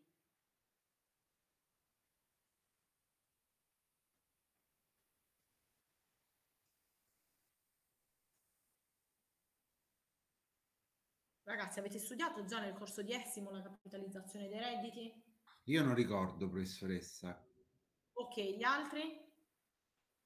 Gli affitti, praticamente sarebbero gli affitti, le, le locazioni. Sì, si prende, sì, le locazioni. Uh, sì. Mm-hmm, sì. il riferimento è, uh, sono i canoni di locazione. Quindi, quando si utilizza la capitalizzazione dei redditi, se nel momento in cui ci poniamo sul mercato e cerchiamo un campione di beni analoghi, questo campione potrebbe anche esistere, ma i prezzi di compravendita non sono noti. Quindi se noi ci poniamo sul mercato, eh, individuiamo o non individuiamo, individuiamo assolutamente un campione di beni analoghi per le ragioni che ci siamo detti. Il mercato è fermo, il mercato non è congruo, il mercato è poco trasparente o ehm, diciamo questo campione non esiste o se esiste non sono noti i prezzi di compravendita, io per determinare il più probabile valore di mercato di un bene devo procedere mediante la capitalizzazione dei redditi. Ok? Qual è, per procedere in questo modo, c'è un'ipotesi alla base fondamentale, cioè il bene oggetto di stima deve essere capace di generare, di produrre un reddito non esauribile in un singolo uso. Piuttosto che dire un esempio eh, di bene che ha questa, diciamo, che ha l- la condizione per cui il reddito si esaurisce in un singolo uso, vi dico banalmente che facciamo l'esempio degli appartamenti, questi rispettano queste ipotesi per cui riescono a generare, sono in grado di generare un reddito che è a fecondità ripetuta, si dice, cioè che è, ripetuto nel corso della vita utile del bene, derivanti da cosa? Dalla locazione del bene. Quindi se io ho un appartamento mi pongo sul mercato, non riesco a trovare un campione di beni analoghi per motivi X, per un motivo X, perché l'immobile ha um, delle caratteristiche eh, tecnico-giuridiche particolari o perché il mercato è statico, perché non si vende da un po' in quella zona. Però io devo eh, calcolare, scusatemi, devo determinare il valore di mercato di quel bene. Come procedo? Procedo con la capitalizzazione dei redditi. In particolare, ipotizzo che il bene sia in grado di generare dei redditi. Questi redditi da cosa sono derivanti? Dalla locazione del bene. Quindi ogni immobile, diciamo per facilità parliamo di immobili residenziali, così diciamo facciamo sempre riferimento alla stessa categoria di immobili. Uh, l'immobile residenziale può essere immesso sul mercato delle locazioni, sul mercato degli affitti e dunque può generare un reddito non esauribile in un singolo uso. Ok?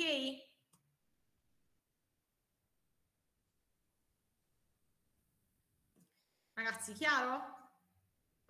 Chiaro, è come l'esempio del box che facevamo prima, giusto? Quando non trovo... È come l'esempio del box... Quando, uh, quando non trovo... Sì, sì, mi, nella seconda situazione, quando mi trovo uh, in un caso in cui il mercato dei box esiste, ma i box diciamo, non riesco a trovare prezzi di vendita, però sono solitamente affittati, quindi vado a considerare i canoni di affitto. Sì, giusto. Qual è l'obiettivo della capitalizzazione dei redditi? Stimare il più probabile valore di mercato di quel bene. Sentite come? Attraverso l'accumulazione, accumulazione, poi l'ho scritto male, accumulazione al momento della valutazione, quindi accumulazione iniziale di tutti i redditi che il bene potrebbe produrre nel corso della sua vita utile. Quindi, nell'ipotesi in cui il bene uh, può essere, um, può generare nel corso della sua vita utile dei redditi derivanti strettamente dalla locazione del bene, io posso stimare il più probabile valore di mercato andando a calcolare l'accumulazione iniziale. Perché iniziale? Perché i uh, beni, i redditi si generano in momenti temporali differenti posteriori al, ad oggi, posteriori all'attualità. Io quindi vado a calcolare l'accumulazione iniziale, quella riferita ad oggi, al momento della valutazione. Ok? È chiaro perché l'accumulazione finale? Perché sono dei perché faccio accumulazione? Perché eh, riprendo i principi della matematica finanziaria per cui i, eh, gli importi monetari che maturano in istanti temporali differenti io non li posso confrontare, devo prima omogenizzarli. Come? Andando a riportarli tutti ad uno stesso istante temporale, in particolare l'attualità, il momento della valutazione. Solo in questo momento li posso sommare per ottenere l'accumulazione iniziale, cioè ad oggi, di tutti i redditi, cioè di tutti i canoni di locazione. Quali sono? È chiaro ragazzi questo qual è l'obiettivo della, della capitalizzazione dei redditi?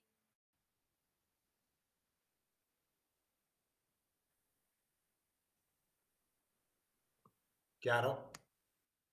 Chiaro perché accumulazione iniziale?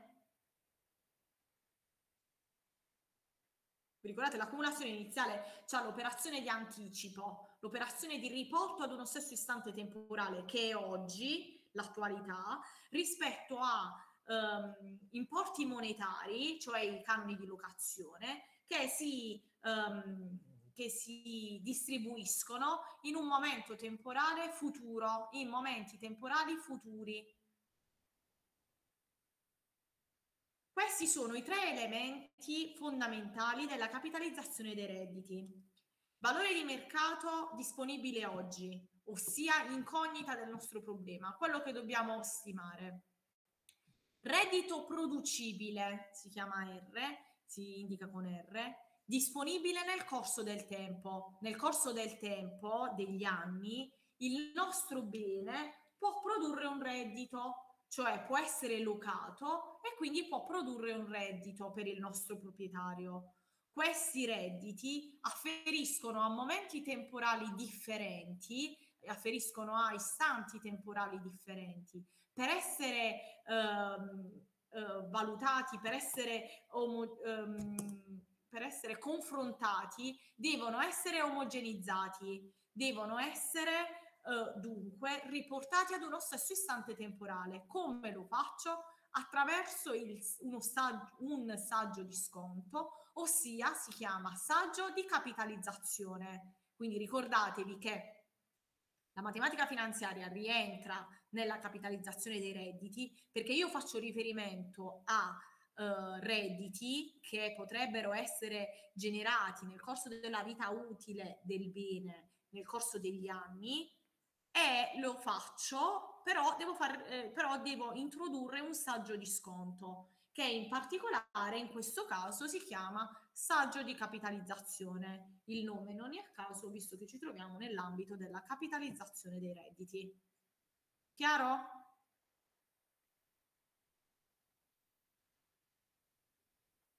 Sì. Questa è la formula eh, che si utilizza per la capitalizzazione dei redditi. Questa è la formula di, dell'accumulazione iniziale di annualità costanti, perché il, si ipotizza che il saggio, eh, scusatemi, il reddito, dunque il canone di locazione sia costante, posticipate, dunque ehm, eh, che maturano alla fine di ogni anno, quindi il 31 dicembre, e illimitate Cosa abbiamo detto di illimitate? Abbiamo detto che eh, per quanto riguarda i processi edilizi, per quanto riguarda eh, il, eh, il, settore immobiliare, eh, si ipotizza che R, quindi il reddito, è prodotto per un periodo di tempo pari a 70-80 anni. Vi devo far vedere una cosa, però altrimenti questa formula non ce la mettiamo in testa. Allora, vi faccio vedere lezione 4. Vi faccio vedere da dove abbiamo preso quella formula. Capite? Allora, accumulazione iniziale, questa, accumulazione iniziale, no, eh, posticipate, quindi prima, qui questa qui, vedete? Accumulazione iniziale di annualità, siamo nella situazione in cui, eh, che vi sto descrivendo adesso, di annualità costanti, quindi che hanno lo stesso importo monetario sempre, posticipate che maturano il 31 dicembre di ogni anno e illimitate. L'accumulazione iniziale, diciamo, si fa introducendo il limite dell'accumulazione, vi ricordate, finale, e lo si fa, alla fine si ottiene questa formula, con nel nostro caso A con zero, che è il valore di mercato dell'immobile che io voglio stimare, A l'annualità, che è il reddito producibile dal nostro bene per un periodo pari a 70-80 anni, R è il saggio di capitalizzazione. Chiaro? Sì. Questa è, vabbè, ora qui è illimitate, quindi diciamo non guardate illimitate. Questa è l'operazione che noi andiamo a fare. Questi sono i vari redditi noi li riportiamo tutti ad uno stesso istante temporale, in particolare l'attualità, cioè il momento della valutazione. Ragazzi, è chiaro? È chiaro, diciamo, l'ipotesi di base delle, della capitalizzazione dei redditi ed è chiara anche la, eh, l'obiettivo della capitalizzazione dei redditi? Di conseguenza, è chiara la formula?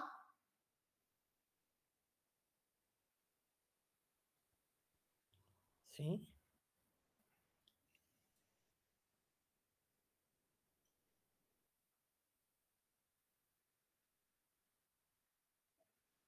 Allora, andiamo avanti. E vediamo, eh, quindi stavamo, eh, capitalizzazione dei redditi, questo l'abbiamo fatto, abbiamo detto la formula, che è dunque la formula dell'accumulazione iniziale di annualità posticipate, costanti e illimitate, illimitate perché ipotizziamo che il nostro bene, quindi in qualsiasi prodotto edilizio, qualsiasi manufatto, può um, generare dei redditi per un periodo di 70-80 anni. Um, se invece uh, il, nostro, um, il nostro bene può generare dei redditi per un periodo limitato di anni n, la formula dell'accumulazione iniziale diventa, diventa questa e quindi R sempre uh, il reddito producibile, Q vi ricordo che è il binomio di interesse 1 più R, con n che è il numero di anni che andiamo a considerare e al eh, denominatore abbiamo R per Q alla N. Vediamo quindi quali sono, questo è fondamentale, qual è la condizione e le, ipote- le ipotesi di applicabilità del procedimento di stima per capitalizzazione dei redditi. Uh, per uh, procedere con l'applicazione del procedimento di stima per capitalizzazione dei redditi deve essere verificata una condizione e due ipotesi. Condizione. Il bene oggetto di stima deve essere in grado di produrre un reddito a fecondità ripetuta. Come ci siamo detti prima, nel corso della sua vita utile deve essere in grado di generare un reddito. Se siamo nell'ipotesi di un immobile eh, a destinazione residenziale, questo reddito è um, un reddito derivante dalla, dalla locazione degli immobili. Ipotesi 1. Il valore di mercato del bene deve tendere ad essere uguale alla somma finanziaria dei redditi fu- futuri scontati all'attualità. Quindi deve essere uguale esattamente quello che ci siamo detto e che ci dice questa formula. Il valore di mercato deve tendere, deve essere uguale ai redditi che si generano nel corso della vita utile del bene scontati all'attualità, cioè riportati ad uno stesso istante temporale che è quello attuale, quello della valutazione. Ipotesi 2. Si deve poter esprimere un giudizio di previsione circa i redditi futuri ed il saggio di capitalizzazione. Quindi noi dobbiamo essere in grado di, dobbiamo avere gli strumenti a disposizione per stimare, per prevedere i redditi futuri, redditi derivanti abbiamo detto dalla locazione, e dobbiamo essere anche in grado di prevedere, dunque di determinare il saggio di capitalizzazione. Chiaro? Queste sono la condizione e le ipotesi eh, per poter procedere con la capitalizzazione dei redditi. Ragazzi, chiaro?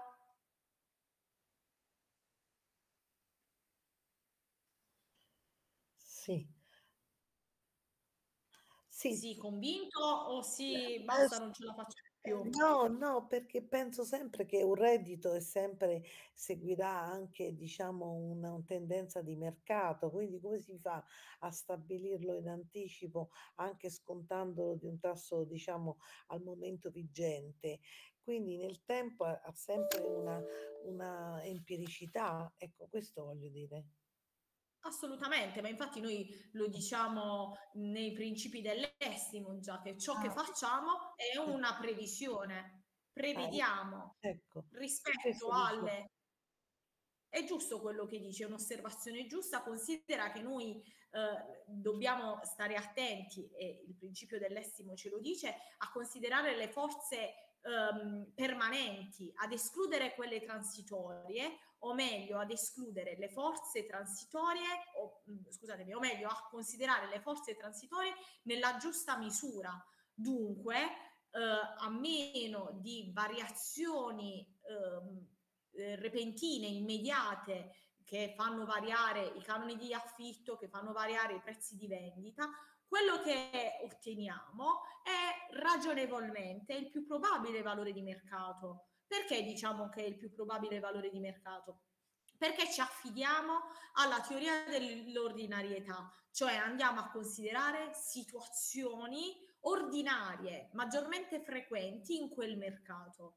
Ciò che facciamo però è eh, e diciamo questo lo sempre lo diciamo in maniera chiara, lo esplicitiamo chiaramente noi valutatori, è una previsione del più probabile valore di mercato. È normale che un'oscillazione repentina, cioè tu dici se il Covid ha creato una variazione, certo, quelli sono, si chiamano shock esogeni, sono um, diciamo um, eventi diciamo, traumatici che vanno ad influenzare il mercato. Però ti dico, e su questo sto conducendo personalmente una ricerca, che il mercato comunque ci mette un po' per assimilare gli effetti di uno shock esogeno, cioè si sono fermate le vendite, assolutamente si sono fermate le vendite nel momento in cui eravamo in lockdown, diciamo, anche chi aveva praticamente intenzione concreta di acquistare casa ha rimandato certamente, però la, eh, il riscontro della pandemia sui prezzi, il riscontro della pandemia rispetto ad una variazione della domanda di mercato è un processo più lungo, non è immediato. Sì, e quindi dice eh, si ammortizza nel tempo, di nuovamente si reintegra, si, riammort- si rimogenizza nel tempo lungo, ecco.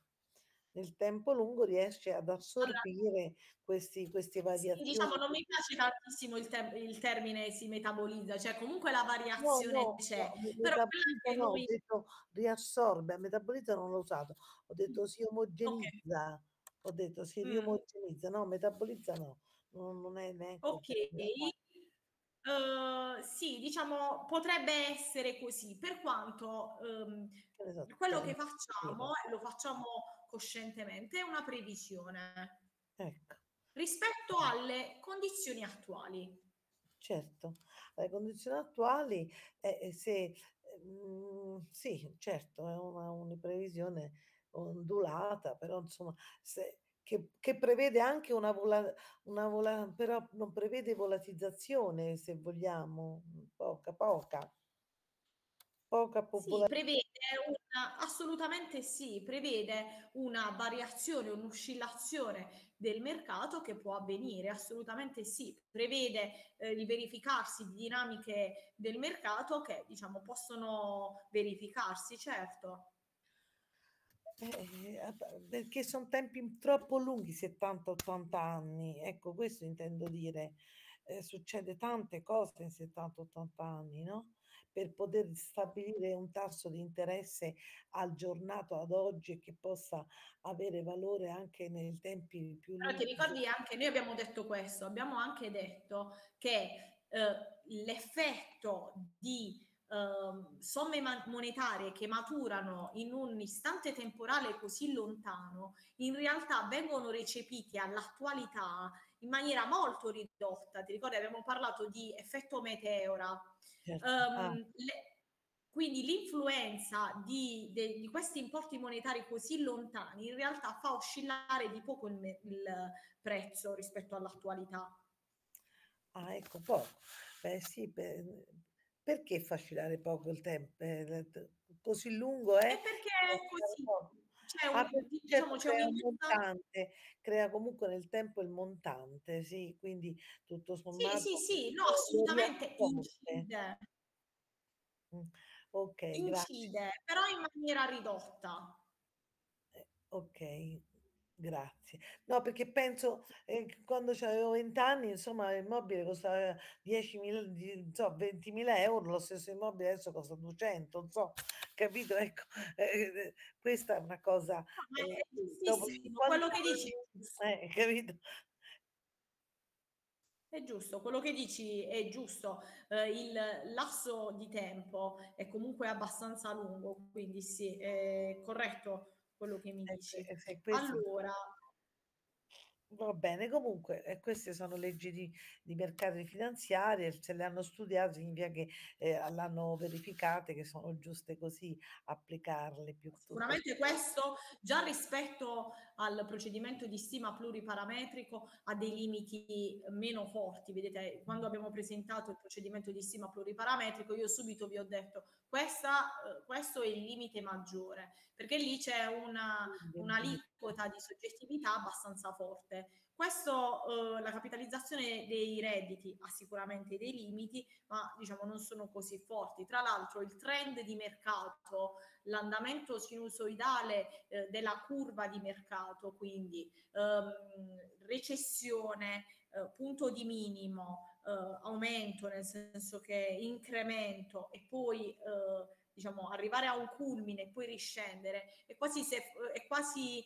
eh, diciamo continuo, è sempre eh, il medesimo, quindi diciamo anche l'analisi delle serie storiche di ciò che è avvenuto nel passato, dei fenomeni del passato ci permette di eh, fare delle previsioni quantomeno attendibili. Eh, grazie. Le curve di Gauss, niente. le cosiddette curve di Gauss dicono, no? Sì, Ecco. sì, sì, O sì. Okay, grazie. Allora, grazie per lo spunto. Allora, ehm, in che cosa si traduce quindi, eh, dette esplicitate la condizione e le ipotesi per applicare il procedimento di stima eh, di capitalizzazione dei redditi, in che cosa si traduce il, eh, diciamo, la stima per capitalizzazione dei redditi? Si traduce in una doppia stima in cui la stima, eh, in una doppia stima del reddito, quindi diciamo mh, banalmente stima del numeratore e stima del denominatore del reddito che avviene in maniera diretta e del saggio di capitalizzazione che adesso vedremo può avvenire eh, in maniera diretta o indiretta. In particolare per via indiretta si parla di procedimento analogico o procedimento di Carloforte. Allora, iniziamo a vedere solo il procedimento di stima diretta del reddito, poi ci fermiamo. Allora, la stima diretta del reddito viene effettuata solo se nella zona esiste un mercato della locazione di beni simili recentemente locati e di canone di affitto mutuo. L'abbiamo già detto, ci riferiamo ai canoni di locazione. Eh, la stima è in generale una regola che vale, la stima diretta può essere effettuata se e solo se esiste un mercato attivo di beni recentemente locati, come vedete qui non è più compravenduti perché adesso ci servono i canoni di locazione e in particolare questi canoni sono nuti.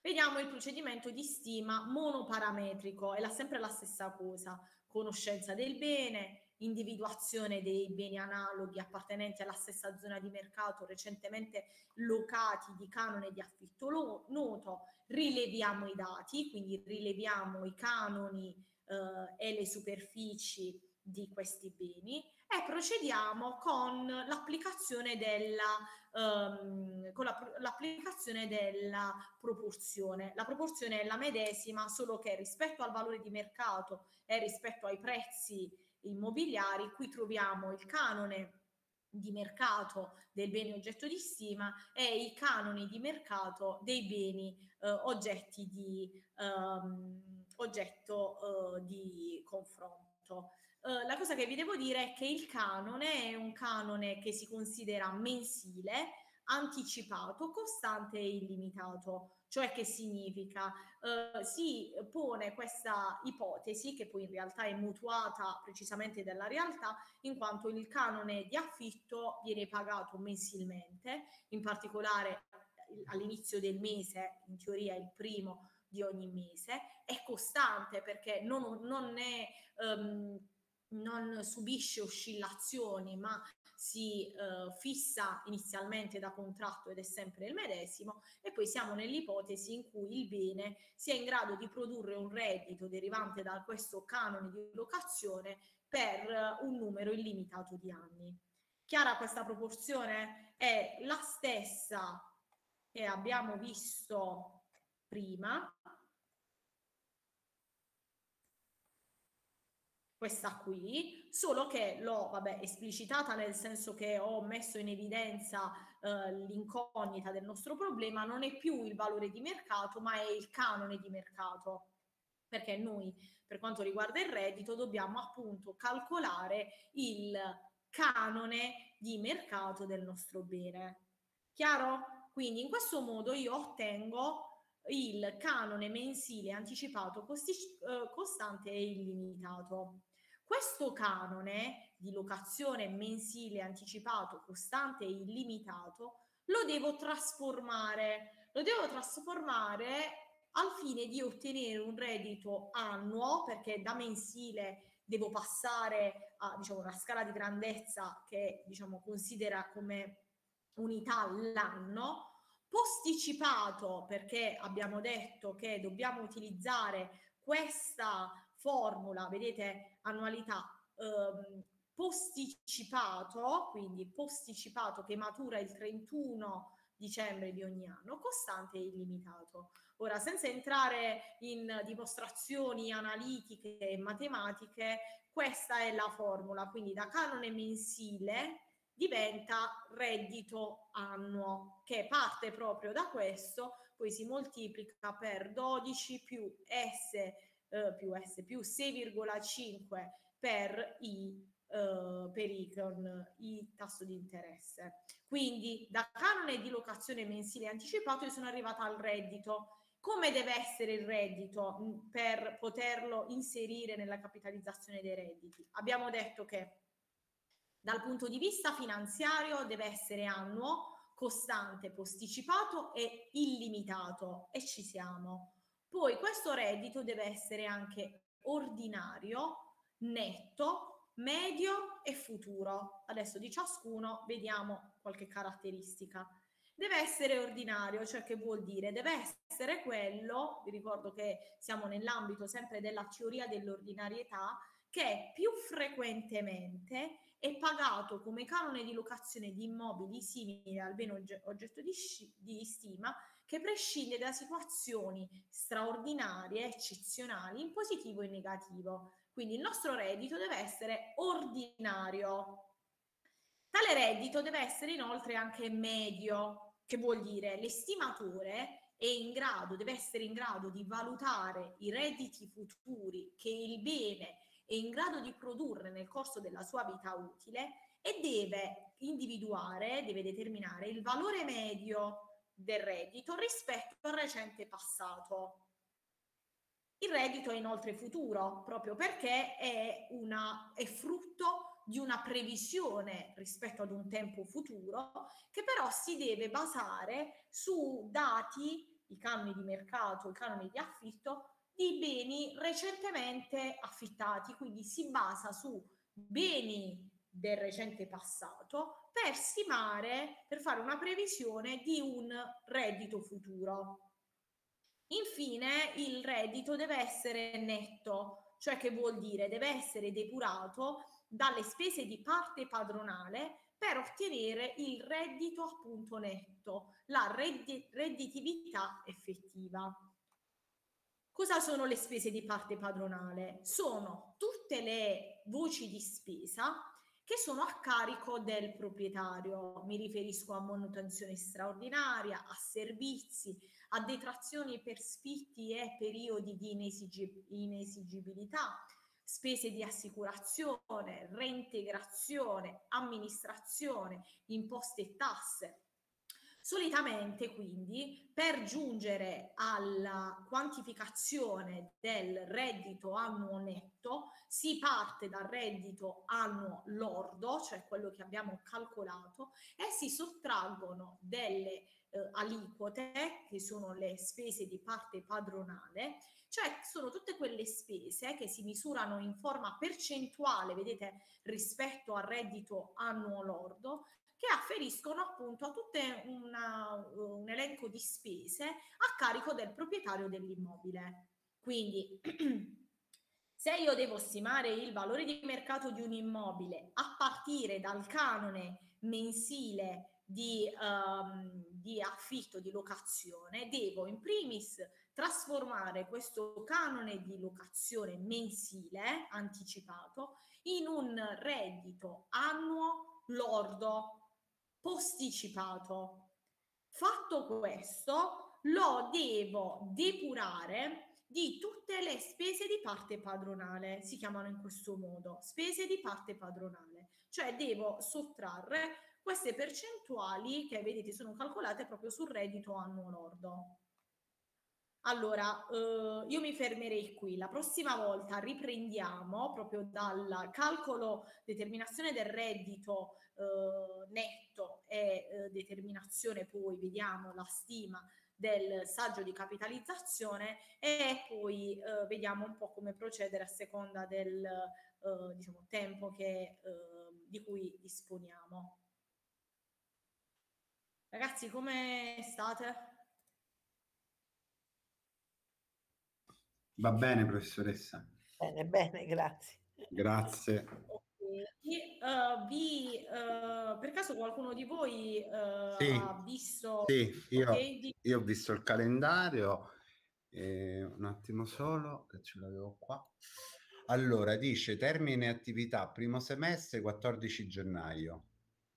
Ok, quindi noi l'ultima lezione che abbiamo, gennaio, ah, è solo il 10, quindi dalla ripresa noi abbiamo solo la lezione del 10. Ok, speravo di avere anche il 17 per fare eh, diciamo, proprio le ultime revisioni, però eh, ci organizzeremo di conseguenza e faremo tutto, va bene?